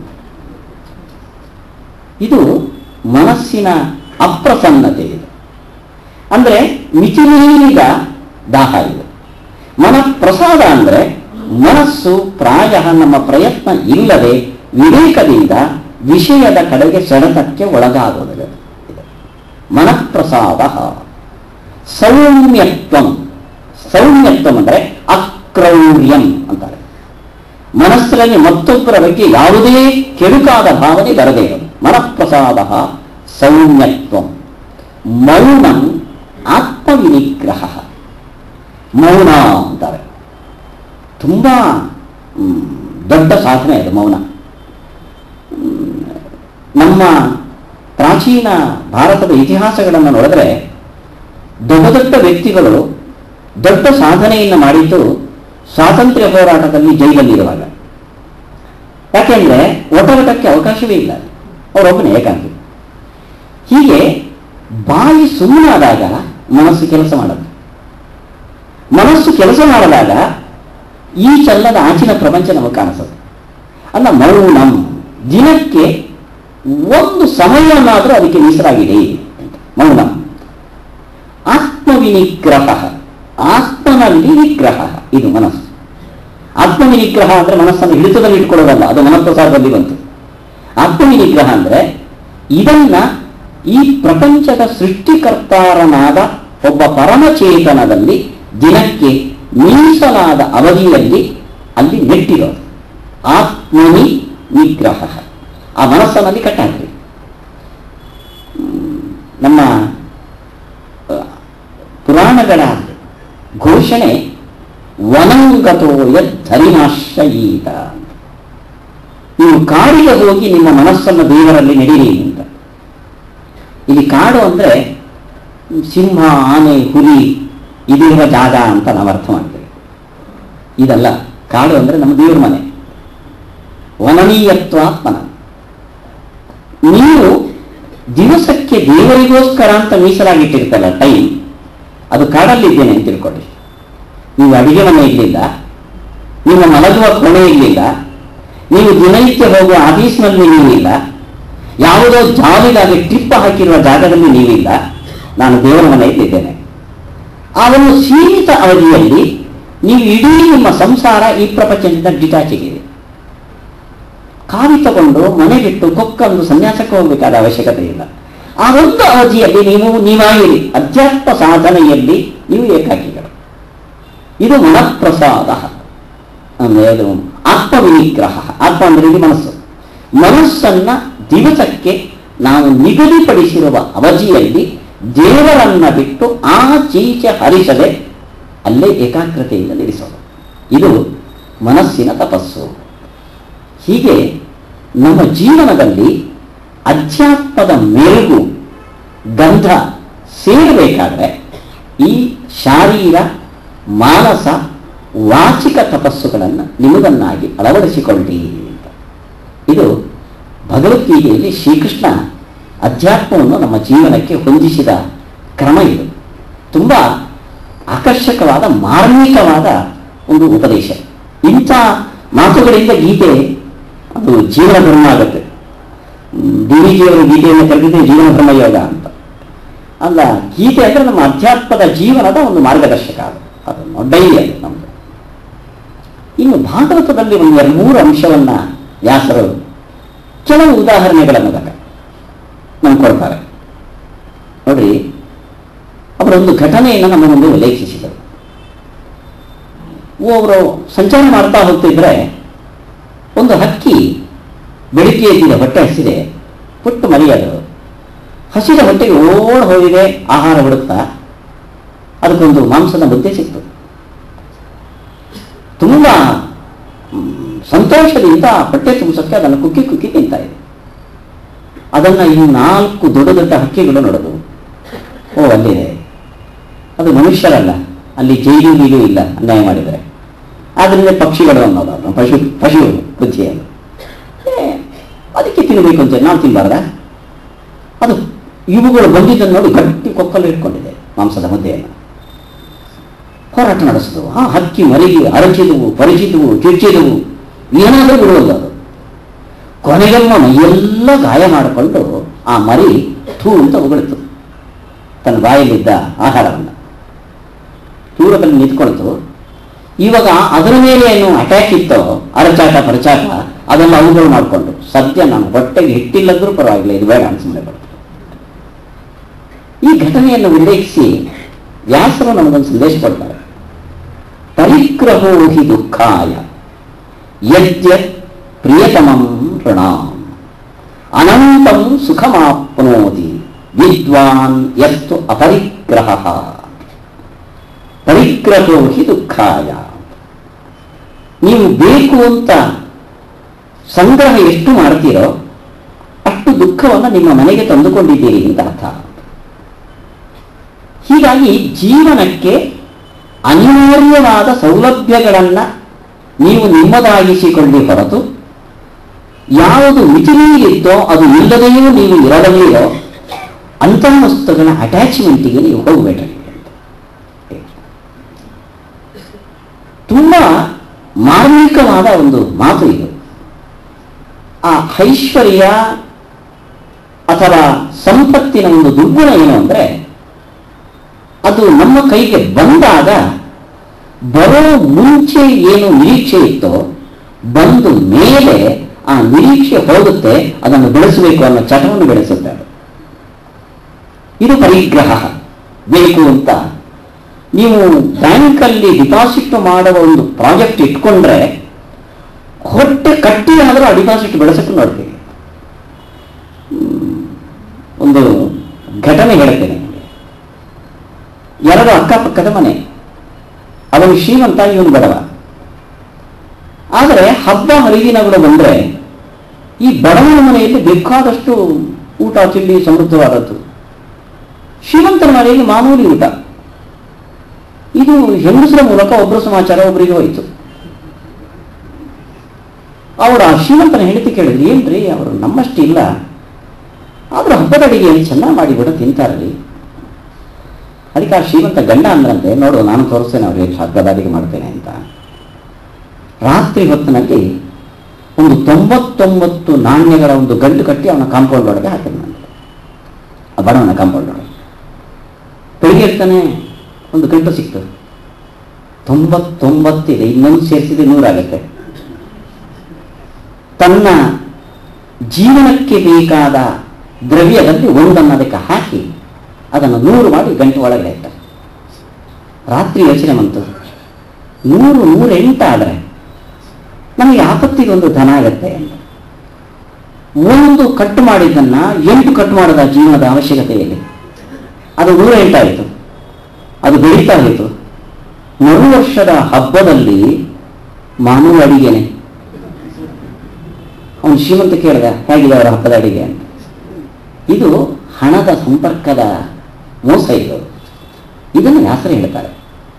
ನೀವು ಸಾಧ್ಯವಾದಷ್ಟು ನಿಮ್ಮ ಅಳತೆಗೆ ಮೀರಿದ ಪರಿಗ್ರಹಕ್ಕೆ ಹೋಗ್ಬೇಡ್ರಿ. ದುಃಖಾಯ. ಅದಕ್ಕೆ ಉದಾಹರಣೆ, ಈ ಅಕ್ಕಿ. ಹೊಟ್ಟೆ ಹತ್ತಿತ್ತು ಬೇಕು ಅಂತ ಬಾಯಿಗೆ ಹಿಡ್ಕೊಂಡಿತ್ತು. ಆದರೆ ಹಿಡ್ಕೊಂಡ ಎಷ್ಟು ಹಿಂಸೆ ಬಿತ್ತು ಅದಕ್ಕೆ ಅದನ್ನು ಬಿಟ್ಟಾಗ ಅದು ಹಾಯ ಆಯಿತು ಆದ್ರಿಂದ ಹಿಡ್ಕೊಳ್ಳೋದಕ್ಕಿಂತ ಬಿಡೋದರಲ್ಲಿ ಹೆಚ್ಚು ಸೌಖ್ಯ ಇದೆ. ಇದು ನಮ್ಮ ಜೀವನದಲ್ಲಿ ನಾವು ಅಳವ ಅಳವಡಿಸಿಕೊಳ್ಳಬೇಕಾದ ಒಂದು ಕ್ರಿಯೆ ಅಂತ ವ್ಯಾಸರು ಭಾಗವತದಲ್ಲಿ ಕೊಡುವ ಸಂದೇಶ. ಇನ್ನೊಂದು ಘಟನೆಯನ್ನು ನಮ್ಮ ಮುಂದೆ ಉಲ್ಲೇಖಿಸ್ತಾರೆ ವ್ಯಾಸರು. ಅವರು ಒಂದು ಮನೆಗೆ ಹೋದರು. ಹೋದರೆ ಅಲ್ಲಿ ಹೆಣ್ಮಗಳು ಒಬ್ಬಳೇ ಇದ್ದಾಳೆ. ಅವಳು ವಯಸ್ಸಿಗೆ ಬಂದವಳು. ಅವಳನ್ನು ನೋಡಕ್ಕೆ ಅಂತ ಒಂದಿಷ್ಟು ಗಂಡಿನ ಕಡೆಯವರು ಬಂದಿದ್ದಾರೆ. ಆಕೆ ಅವರಿಗೆ ಏನಾದರೂ ಒಂದು ಉಪಹಾರ ಮಾಡಿಕೊಡ್ಬೇಕಲ್ಲ ಅದು ಆಗಿನ ಕಾಲ. ಒಳಗಡೆ ಭತ್ತ ಕೊಡ್ತಾ ಇದ್ದಾಳೆ ಅವಳು. ಕೈ ತುಂಬ ಬಳೆ ಹಾಕೊಂಡಿದ್ದಾಳೆ. ಭತ್ತ ಕೊಡ್ತಾಳೆ, ಗಲಗಲ ಅಂತ ಶಬ್ದ ಬರುತ್ತೆ. ಬಂದ ನೆಂಟರಿಗೆ ಕಸಿವಿಸಿ ಆಗುತ್ತೆ. ಯಾಕೆಂದ್ರೆ ನೆಂಟರು ಬಂದ ಕೂಡಲೇ ಕಾಫಿ ಗುಡಿ ತಗೊಂಬ ಅಂತ ಅಂಗಡಿ ಕಳಿಸಿದರೆ, ಏ ಬೇರೆ ಕಾಫಿ ಅಂತ ಹಾಗೆ ಅವಳಿಗೆ ಸಂಕೋಚ ಆಯ್ತು. ಅವಳಿಗೆ ಕೈಯಿಂದ ಶಬ್ದ ಮಾಡುವ ಬಳೆಗಳನ್ನು ತೆಗೆದಿಲ್ಲ ಈ ಕೈಯೆರಡು ಈ ಕೈಯೆರಡು ಹಾಕಿ ಕೊಟ್ಟಿದ್ರು. ಆದರೂ ಹಿಂದಿನ ಗಲಗಲ ಶಬ್ದ ಇಲ್ಲ, ಕಣಕಣ ಶಬ್ದ ಬಂತು. ಮತ್ತೆ ಆ ಕೈಯಿಂದ ಈ ಕೈಯಿಂದ ಕಳಚಿಟ್ಲು ಒಂದೇ ಮಳೆ ಆ ಈ ಎಲ್ಲನೂ ಕಳಿಸಿಟ್ಟಿಲ್ಲ ನಮ್ಮ ಹೆಂಗಸರ ತರ ಇವಾಗ ಕೊಟ್ಟಿದ್ಲು ಸದ್ದಿಲ್ಲ. ಯಾಸರು ನೋಡಿರಲಿಲ್ಲ ನಮಗೊಂದು ಸಂದೇಶ ಕೊಟ್ಟರು ವಾಸಿ ಬಹೂನಾಂ ಕಲಹ. ಭವೇದ್ ವಾರ್ತಾದ್ವಯೋರಪಿ ಏಕ ಏವ ಚರೇತ್ ತಸ್ಮಾತ್ ಕುಮಾರಿಯ ಇವ ಕಂಕಣ. ತುಂಬ ಜನ ನಾವು ಸೇರಿದ್ದೀವಿ ಅಂದ್ರೆ, ಅದು ಉಪನ್ಯಾಸಕ್ಕೆ ಸೇರೋಣ ನೀವು ಯಾಕೆ ನಿಮ್ಮ ಎಕ್ಸ್ಪ್ರೆಷನ್ ಭಾವನೆಯನ್ನು ಪಕ್ಕದವರಿಗೆ ಹೇಳೋದಿಲ್ಲ ಅಂದ್ರೆ ನಾನು ಅವನ ಜೊತೆ ಮಾತಾಡಿದ್ರೆ ಉಳಿದವರು ಬೈತಾರೆ ಅಂತ. ಅದಕ್ಕೋಸ್ಕರ ಗಂಭೀರವಾಗಿ ಬಾಯಿ ನಾಲಿಗೆಯನ್ನು ಹಿಡ್ಕೊಂಡು ಕೊಟ್ಟಿರ್ತೇವೆ ನಾವು. ಇಲ್ಲಿ ಬಂದು ಉಪನ್ಯಾಸಕರು ಕೂಡುವವರೆಗೂ ಮದುವೆ ಚಕ್ರದ ಮ್, ಮೀರಿಸುವ ಮೀರಿಸುವ ಮಾತುಗಳಿರ್ತವೆ ನಾವು. ಬಹುನಾಂ ವಾಸೆ ಜೊತೆ ಸೇರಿದು ಅಂದರೆ ಅಲ್ಲಿ ಕೋಲಾಹಲ ಭವೇದ್ ವಾರ್ತಾ ದ್ವಯೋರಪಿ ನಾವು ಗಂಡ ಹೆಂಡತಿ ಇಬ್ಬರೇ ಇದ್ದೇವೆ ಅಂದ್ರೆ ನೀವು ಇಬ್ಬರು ಇದ್ರು ಗಲಾಟೆ ಇಲ್ಲ. ಆದರೆ ಅವನು ಹಾಗಂತೆ, ಇವನು ಹೀಗಂತೆ, ಆ ಮಠ ಸ್ವಾಮಿಗಳು ಹೀಗೂ ಮಾಡಿದ್ರಂತೆ, ಈ ಲೋಕವಾರ್ತೆಗಳಲ್ಲಿ ನಡೀತಾ ಇರುತ್ತೆ. ಏಕ ಏವ ತಸ್ಮಾತ್ ಹೀಗಾಗಿ ಅಧ್ಯಾತ್ಮದ ಸಾಧನೆಯಲ್ಲಿ ನೀವು ಏಕಾಕಿಗಳಾಗಿರಿ. ಇದು ವ್ಯಾಸರು ಒಂದು ಹೆಣ್ಣು ಮಗಳ ಘಟನೆಯನ್ನು ನಮ್ಮ ಮುಂದೆ ಇಟ್ಟು ನಮಗೆ ಜೀವನದಲ್ಲಿ ಕಲಿಸಿಕೊಟ್ಟ ಪಾಠ ಇದು. ಹೀಗೆ ಎರಡು ಅಂಶಗಳನ್ನು ಹೇಳಿದರು. ಸಾಧ್ಯವಾದಷ್ಟು ನೀವು ಪ್ರಾಪಂಚಿಕ ವಿಷಯ ಪದಾರ್ಥಗಳ ಸಂಪರ್ಕವನ್ನು ಕಡಿಮೆ ಮಾಡಿಕೊಳ್ಳಿ. ಜೀವನಕ್ಕೆ ಎಷ್ಟು ಅನಿವಾರ್ಯವೋ ಅಷ್ಟನ್ನು ಇಟ್ಟುಕೊಳ್ಳಿ ಮೊದಲನೇ ಪಾಠ. ಎರಡನೇದು ನೀವು ಏಕಾಕಿತನವನ್ನು ಸಾಧ್ಯವಾದಷ್ಟು ಬಳಸಿ. ಬಯಸಿ. ಅದು ನಾನು ಇಲ್ಲಿ ಹೇಳಿದಂತೆ ನಿಮ್ಮ ಬೆಳಗಿನ ಸಾಯಂಕಾಲದ ಪ್ರಾರ್ಥನೆಗೆ ಇದನ್ನು ಮೀಸಲಾಗಿಟ್ಕೊಳ್ಳೋಣ ಆವಾಗಾದರೂ ಏಕಾಕಿಗಳಾಗಿ ಇನ್ನೊಂದು ಅಂಶ, ಅಧಿಷ್ಠಾನಂ ತಥಾ ಕರ್ತ ಕರಣಂಚ ಪೃಥಗ್ವಿದಂ ವಿವಿಧಾಶ್ಚ ಪೃಥಕ್ ಚೇಷ್ಟಾ ದೈವಂ ಚೈವಾತ್ರ ಪಂಚಮ. ನಾವು ಮಾಡುವ ಒಳ್ಳೆ ಕೆಲಸಗಳಿಗೆ ನಾನು ದುಷ್ಕರ್ಮದ ಬಗ್ಗೆ ಹೇಳೋದಿಲ್ಲ. ಸತ್ಕರ್ಮದಿಂದ ನಾವು ಒಳ್ಳೆಯದನ್ನ ಪಡಿತೀವಿ, ಕೆಟ್ಟದನ್ನು ಪಡಿತೀವಿ. ಅಡಿಗೆ ಮಾಡೋಕ್ಕೆ ಹೋದರೆ, ಇವತ್ತಲ್ಲ, ಇವತ್ತು ಗ್ಯಾಸ್ ಇದೆ. ಕಟ್ಟಿಗೆಯಿಂದ ಅಡಿಗೆ ಮಾಡೋಕ್ಕೆ ಹೋದರೆ, ಅಡಿಗೆಯೂ ಸಿದ್ಧ ಆಗುತ್ತೆ. ಜೊತೆಯಲ್ಲಿ ಕೈ ಸ್ವಲ್ಪ ಕರಿ ಮಾಡಿಕೊಡ್ಬೇಕಾಗುತ್ತೆ. ಹಾಗೆ ಯಾವುದೇ ಸತ್ಕರ್ಮವನ್ನು ನಾವು ಮಾಡಿದಾಗ, ಒಳ್ಳೆ ಕೆಲಸವನ್ನು ಮಾಡಿದಾಗಲೂ ಕೂಡ, ಒಳ್ಳೆ ಪುಣ್ಯದ ಜೊತೆ ಒಂದು ಪಾಪದ ಗಂಟು ಅನಿವಾರ್ಯವಾಗಿ ನಮಗೆ ಬರ್ತದೆ. ತಿಳಿದೋ ತಿಳಿಯಲಿಲ್ಲ ಇಲ್ಲಿ ಕಾರಣ ಏನು? ವ್ಯಾಸರಂತಾರೆ, ಕರ್ತಾಹಂ ಇತಿ ಮನ್ಯತೆ. ಇದು ಗೀತೆಯಲ್ಲಿ ಕೃಷ್ಣ ಹೇಳಿದ ಮಾತು, ಇದನ್ನು ಭಾಗವತದಲ್ಲಿ ವ್ಯಾಸ ವ್ಯಾಸರು ಹೇಳ್ತಾರೆ. ನೋಡಿ, ಒಂದು ಉದಾಹರಣೆ ಹೇಳ್ತೇನೆ. ಸ್ವರ್ಗದ ಒಡೆಯ ಇಂದ್ರ, ಅವನು ಬೇಕಾದಷ್ಟು ರಾಕ್ಷಸರನ್ನು ಕೊಂದಿದ್ದ. ದೇವತೆ ದೈತ್ಯರಲ್ಲಿ ಶತ್ರುತ್ವ ಇದ್ದಿದ್ದಿದೆ, ಜಗಳ ಆಗ್ತಾ ಇರೋದೆ. ಅದು ಸಂಹಾರ ಮಾಡಿ ಸಾತ್ವಿಕ ಶಕ್ತಿ ಸ್ವರ್ಗದ ಅಧಿಕಾರಕ್ಕೆ ಇರೋದು ನಮ್ಮ ಅದು ಆದರೆ ಯಾರನ್ನು ಕೊಂದಾಗಲೂ ಅವನಿಗೆ ಪಾಪ ಬರಲಿಲ್ಲ. ಆದರೆ ವೃತ್ರಾಸುರನನ್ನು ಕೊಂದ ಪಾಪ ಒಂದು ಮುದಿ ರೂಪದಿಂದ ಅವನನ್ನು ಬೆನ್ನಟ್ಟಿ ಬಂತು ಅಂತ ಹೇಳ್ತಾರೆ ವ್ಯಾಸ. ಯಾಕೆ? ನೂರಾರು ದುಷ್ಟ ಶಕ್ತಿಗಳನ್ನು ಸಂಹಾರ ಮಾಡಿದ್ರು. ಬರದ ಪಾಪ ವೃತ್ರಾಸುರನನ್ನು ಕೊಂದಾಗ ಇಂದ್ರನಿಗೆ ಯಾಕೆ ಬಂತು ಬ್ರಹ್ಮಹತ್ಯೆ ಅಂದ್ರೆ ನೋಡಿ, ಇಲ್ಲಿ ವ್ಯಾಸರು ಹೇಳ್ತಾರೆ ವೃತ್ರಾಸುರನನ್ನು ಕೊಂದತ್ತು ಇಂದ್ರ ಅವರು. ಅವನು ವೃತ್ರಾಸುರನನ್ನು ಕೊಂದ ಸಂಹಾರ ಮಾಡಲಿಕ್ಕೆ ಒಂದು ವರ್ಷ ಅವನ ಜೊತೆ ಹೆಣಗಿದ್ದಾನೆ ಅದಕ್ಕೋಸ್ಕರ ಆ ಆರ್ಡರ್ ಕೊಟ್ಟು ಹೊಸದಾದ ಒಂದು ವಜ್ರಾಯುಧವನ್ನು ಸಿದ್ಧ ಮಾಡಿಕೊಂಡು ಬಂದಿದ್ದಾನ ಅವನು ದದೀಚೆಯ ಎರಡಿನಿಂದ ಇಷ್ಟು ಸೆಣಸಿ ಕೊನೆಗೆಲ್ಲೇ ವೃತ್ರಾಸುರ ಸತ್ರೆ ಸದ್ಯ ಕೊಂದೆ ಅಂತಂದು ಅವನು ಸದ್ಯ ಕೊಂದೆ ಅಂದಾಗ ನಾನು ಬಂದೆ ಅಂತ ಪಾಪ ಬಂತು. ನೋಡಿ, ವ್ಯಾಸರು ಹೇಳ್ತಾರೆ ಆ ವೃತ್ರಾಸುರ ಸಂಹಾರದಲ್ಲಿ ಆ ವಿಶ್ವಕರ್ತನಾದ ಚೇಷ್ಟಕನಾದ ಭಗವಂತನ ಪಾತ್ರ ಎಷ್ಟು ಅಂದ್ರೆ ಇವನು ಅವನನ್ನು ಕೊಲ್ಲಕ್ಕೋಸ್ಕರ ಸಿದ್ಧಪಡಿಸಿದ ವಜ್ರಾಯುಧದ ಒಳಗಡೆ ಹೊಡೆದಾಗ ಮುರಿಬಾರ್ದಲ್ಲ ಒಂದು ಅಂಶದಿಂದ ಅವನು ಕೋತಿದ್ದಾನೆ ಇಂತರ ಹೊಡೆದಾಗ ಅವನ ಪರಾಕ್ರಮ ಪೂರ್ಣ ಹೊರಹೊಮ್ಮಬೇಕಲ್ಲ ಅದಕ್ಕೋಸ್ಕರ ಅವನ ದೇಹದ ಒಳಗಡೆ ಶಕ್ತಿ ರೂಪದಿಂದ ಭಗವಂತ ಕೋತಿದ್ದಾನಂತ ಇವರಿಬ್ಬರು ಅದನ್ಯ ಶಕ್ತಿಗಳು ಹೋರಾಡುವಾಗ ನೆಲ ಸ್ಟೇಜ್ ಕುಸ್ತು ಬಿಟ್ರೆ ಆ ನೆಲ ಕುಸಿಬಾರದು ಅಂತ ಅಲ್ಲೊಂದು ಶಕ್ತಿಯ ರೂಪದಿಂದ ಭಗವಂತ ಕೊತ್ತಿದ್ದಾನೆ. ಇವರಿಬ್ಬರು ಹೋರಾಡಿದರು. ನಾನು ಕೊಂದೆ ಅಂದ. ನೋಡು, ಇಷ್ಟು ಮೂರು ಕಡೆ ನಾನಿದ್ದು ಒಳಗಡೆ ಮಾಡಿದ ಕೆಲಸ, ನೀನು, ನಾನು, ನೀನು ಉಪ್ಪು ಹುಳಿ ತಿಂದ ದೇಹ ಅಲ್ಲ, ದೇವತೆ ನೀನು, ಇಷ್ಟು ಕೆಲಸ ನಾನು ಮಾಡಿದರೆ ನಾನು ಅನ್ಕೊಂದಿಯಲ್ಲ ಬಂತು ಪಾಪ ಇದು ನಾವು ಮಾಡಿದ ಕರ್ತವ್ಯದಲ್ಲಿ ನಾನು ಮಾಡಿದೆ ಅನ್ನೋ ಅಹಂಭಾವ ಅಂತಾರೆ ಇಲ್ಲಿ ಅಹಂಕಾರ ಅಂದರೆ ನಮ್ಮ ಆಡುಭಾಷೆಯಲ್ಲಿ ಒಂದು ಅಹಂಕಾರ ಅಂತ ಕರಿತೀರಲ್ಲ ಸಿಕ್ಕಾಪಟ್ಟೆ ಅಹಂಕಾರ ಇದೆ ಆ ಅಹಂಕಾರ ಅಲ್ಲ. ಅಹಂ ಅಂದರೆ ಅಹಂಕರ್ತ ಅನ್ನೋ ಭಾವನೆ. ಈ ಭಾವನೆ ನಮ್ಮ ಕೆಲಸದಲ್ಲಿ ತೊಡಗಿದಾಗ ನಾವು ಎಷ್ಟೆಷ್ಟು ನಾನು ನಾನು ನಾನು ಅಂತ ಅನ್ನೋ ಭಾವನೆಯನ್ನು ತಾಳ್ತೀವೋ, ಅಷ್ಟಷ್ಟು ನಮ್ಮ ಪುಣ್ಯದ ಅಂಶ ಕುಸಿಯುತ್ತದೆ ಪಾಪದ ಅಂಶ ಸೇರ್ಕೊಡ್ತದೆ ಇದು ಸಾಧ್ಯವಾದಷ್ಟು ಈ ಅಹಂಭಾವವನ್ನು ಬೆಳೆಯುತ್ತೆ ವ್ಯಾಸರ ಒಂದು ನಿರ್ದೇಶ ಎಷ್ಟಿದೆ ಅಂದರೆ ನಮಗೆ ಮತ್ತೊಬ್ಬರಿಂದ ಕೇಡಾದರೂ ಕೂಡ ನೀವು ಇರಿಟೇಟ್ ಆಗದೆ, ಉದ್ವೇಗಕ್ಕೆ ಒಳಗಾಗದೆ, ನೀವು ಇರಬೇಕಾದ ಸ್ಥಿತಿಯನ್ನ ವ್ಯಾಸರು ಹೇಳ್ಕೊಡ್ತಾರೆ ಅಸತ್ಕೃತ ಮದಂ ಅಧರ್ಮಂತು. ನಾವು ಮಾಡೋ ತಪ್ಪಿ ಏನಿದೆ? ಯಾರೋ ನಮಗೆ ತೊಂದರೆ ಕೊಟ್ಟರು ತೊಂದರೆ ಕೊಟ್ಟಾಗ ನಮ್ಮ ಹಿಂಗೆ ಮಾಡದ ಅವನ ತಂಟೆಗೆ ಹೋಗಲಿಲ್ಲ ಮೂರು ಮೂರು ಜನ್ಮಕ್ಕೂ ಹಾಳಾಗ ಹೋಗಲಿ ಅಂತ ಶಾಪ ಹಾಕ್ತೀವಿ ನೋಡಿ ಯಾಸರು ಒಂದು ಉದಾಹರಣೆಯನ್ನು ನಮ್ಮ ಮುಂದೆ ಇಡ್ತಾರೆ ಆ ಪುಟ್ಟ ಬಾಲಕ ಧ್ರುವ ಇದ್ದಾನಲ್ಲ. ಅವನ ಅಪ್ಪನ ಕಾಲ ಮೇಲೆ ಕೂಡಕ್ಕೆ ಹೋದಾಗ ಪ್ರೀತಿಯಿಂದ ಚಿಕ್ಕಮ್ಮ ಬಂದು ದುದುಕಿದ್ಲು. ದುದುಕಿದ್ರೆ ನಮ್ಮ ನಿಮ್ಮ ಭಾವ. ಮಗು ಇದ್ದದ ಐದು ವರ್ಷದ ಬಾಲಕ.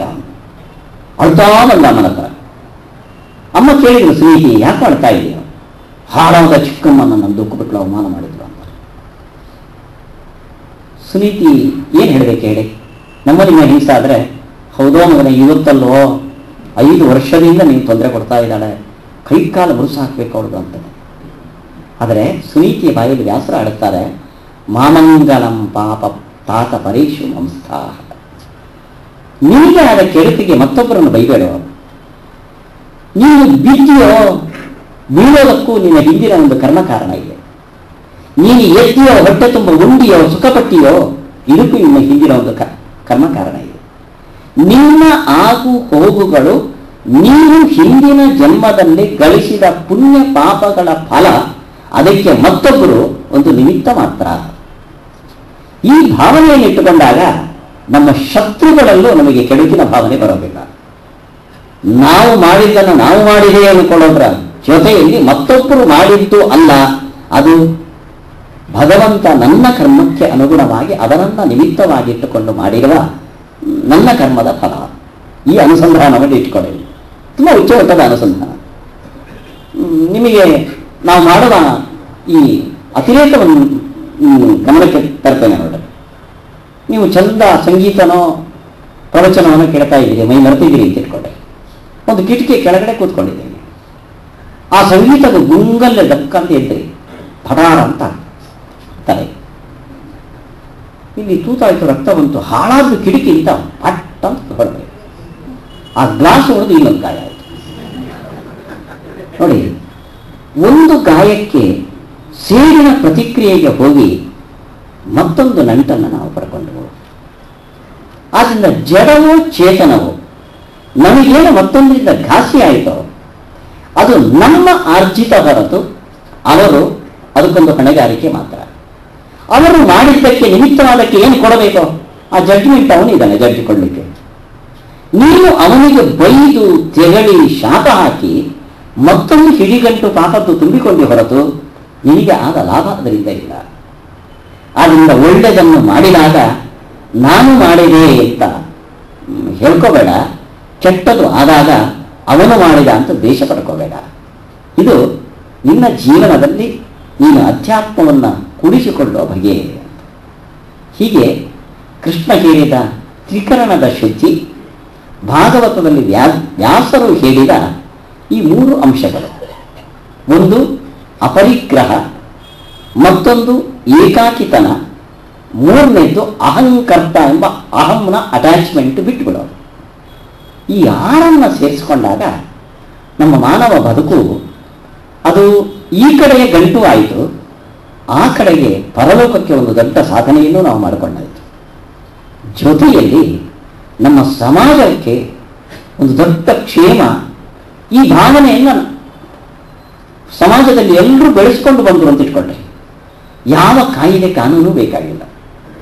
ಕಾಯಿಲೆಯಿಂದ, ಕಾನೂನಿನಿಂದ, ಕೋರ್ಟಿನಿಂದ, ಜೈಲಿನಿಂದ ನಾವು ಸಮಾಜವನ್ನು ಸುಸ್ಥಿತಿಗೆ ತರೋದಕ್ಕೆ ಸಾಧ್ಯ ಇಲ್ಲ. ಈ ಕಾರಣದಿಂದ ನೋಡಿ ಅದು ನಮ್ಮ ಸ್ವಾಮಿಗಳು ಹೇಳೋ ಮಾತಾಡೋದು ಕಾನೂನು ಕಾಯಿಲೆ ಕುರುಡ ಹಿಡಿದ ದಂತೆ ಅದು. ಅವನ ಮುಂದೆ ಹಾಲಿಟ್ಟು ನೋಡು ನಾನು ಒಂದು ಗಂಟೆ ಬಿಟ್ಟು ಬರ್ತೇನೆ, ಇದನ್ನ ಬೆಕ್ಕು ನಾಯಿ ಬರದಂತೆ ನೋಡ್ಕೋ ಅಂತ ಕುರುಡ ಅವನು ಕೈಯಲ್ಲಿ ಕೋಲ್ ಕೊಟ್ಟು ಕೂಡಿಸಿದ್ರೆ ಆ ಹಾಲಿಟ್ಟ ವ್ಯಕ್ತಿಯೇ ಒಂದು ಆ ಪಾತ್ರ ಹಿಡಿದ್ರು ಫಟ್ ಅಂತ ಬೆಳಿತಾನೆ ಕಣ್ಣಿಲ್ಲ ಅವನಿಗೆ. ಇದು ಕಾರಣದಿಂದ ಆಗಬಹುದಾದ ವ್ಯತ್ಯಾಸ ಆದರೆ ಅದೇ ಮನಸ್ಸಿನಲ್ಲಿ ಪ್ರತಿಯೊಬ್ಬ ವ್ಯಕ್ತಿಯನ್ನು ಪರಿವರ್ತನೆ ಆದರೆ ಯಾವ ಕಾನೂನಿನ ಅಗತ್ಯವೂ ಇಲ್ಲ ಅಂತ. ಹೀಗಾಗಿ, ನಾನು ವಿನಮ್ರವಾಗಿ ಕೇಳ್ಬಿಡಿ ಇಲ್ಲಿ ಹೇಳಬೇಕಾದ ಅವಶ್ಯಕತೆ ಇಲ್ಲ. ನೀವು ನಾಸ್ತಿಕರೇ ಆಗಿರಬೇಕಾದ ದೇವರು ಇಲ್ಲ ಅಂತ ಹೇಳಿ. ಆದರೆ ಸಮಾಜಕ್ಕೋಸ್ಕರ ದೇವರಿದ್ದಾರೆ ಇದೆ, ಪಾಪ ಇದೆ ಅಂತ ಒಂದು ಭೀತಿ ಉಳಿಸಿ. ಅದರಿಂದ ಆಗುವ ಪರೋಕ್ಷವಾದ ಪರಿಮಾಣ, ಪರಿಣಾಮ ಇದೆಯಲ್ಲ, ಅದು ಸಮಾಜಕ್ಕೆ ಅನುಕೂಲ ಹೊರತು ಪ್ರತಿಕೂಲ ಆಗೋದು. ಆದ್ದರಿಂದ ಇದು ವ್ಯಾಸರು ನಮ್ಮ ಜೀವನಕ್ಕೆ ಅಧ್ಯಾತ್ಮವನ್ನು ಬೆರೆಸಿಕೊಂಡಾಗ ನಮ್ಮ ಜೀವನವು ಉದಾತ್ತ ಮಟ್ಟಕ್ಕೆ ಏರುವಂತಾಯಿತು. ಸಮಾಜಕ್ಕೂ ಒಂದು ಸ್ವಾಸ್ಥ್ಯ ಸಿಕ್ಕಿದಂತಾಯಿತು. ಇದು ಜೀವನ ಮತ್ತು ಅಧ್ಯಾತ್ಮ ಅಂತ ಹೇಳ್ತಾ ಎರಡು ದಿವಸದಲ್ಲಿ ನಿಮ್ಮ ಮುಂದೆ ನಾನು ನನ್ನ ಜೀವನದಲ್ಲಿ ಕಂಡುಕೊಂಡ ಇನ್ನೂ ಕಾರ್ಯಗತ ಆಗಬೇಕಾದ ಪ್ರಯತ್ನ ಪೂರ್ಣ ಸಫಲ ಅಂತ ನಾನು ಹೇಳೋದಿಲ್ಲ. ಆ ವಿಷಯದಲ್ಲಿ ನಿಂತರ ನಾನು ಇದ್ದೇನೆ, ಹಂಚಿಕೊಂಡಿದ್ದೇನೆ. ಒಳ್ಳೆದಿದ್ದುದನ್ನು ಜೀವನದಲ್ಲಿ ತುಂಬಿಕೊಂಡು ಹೋಗ್ರಿ.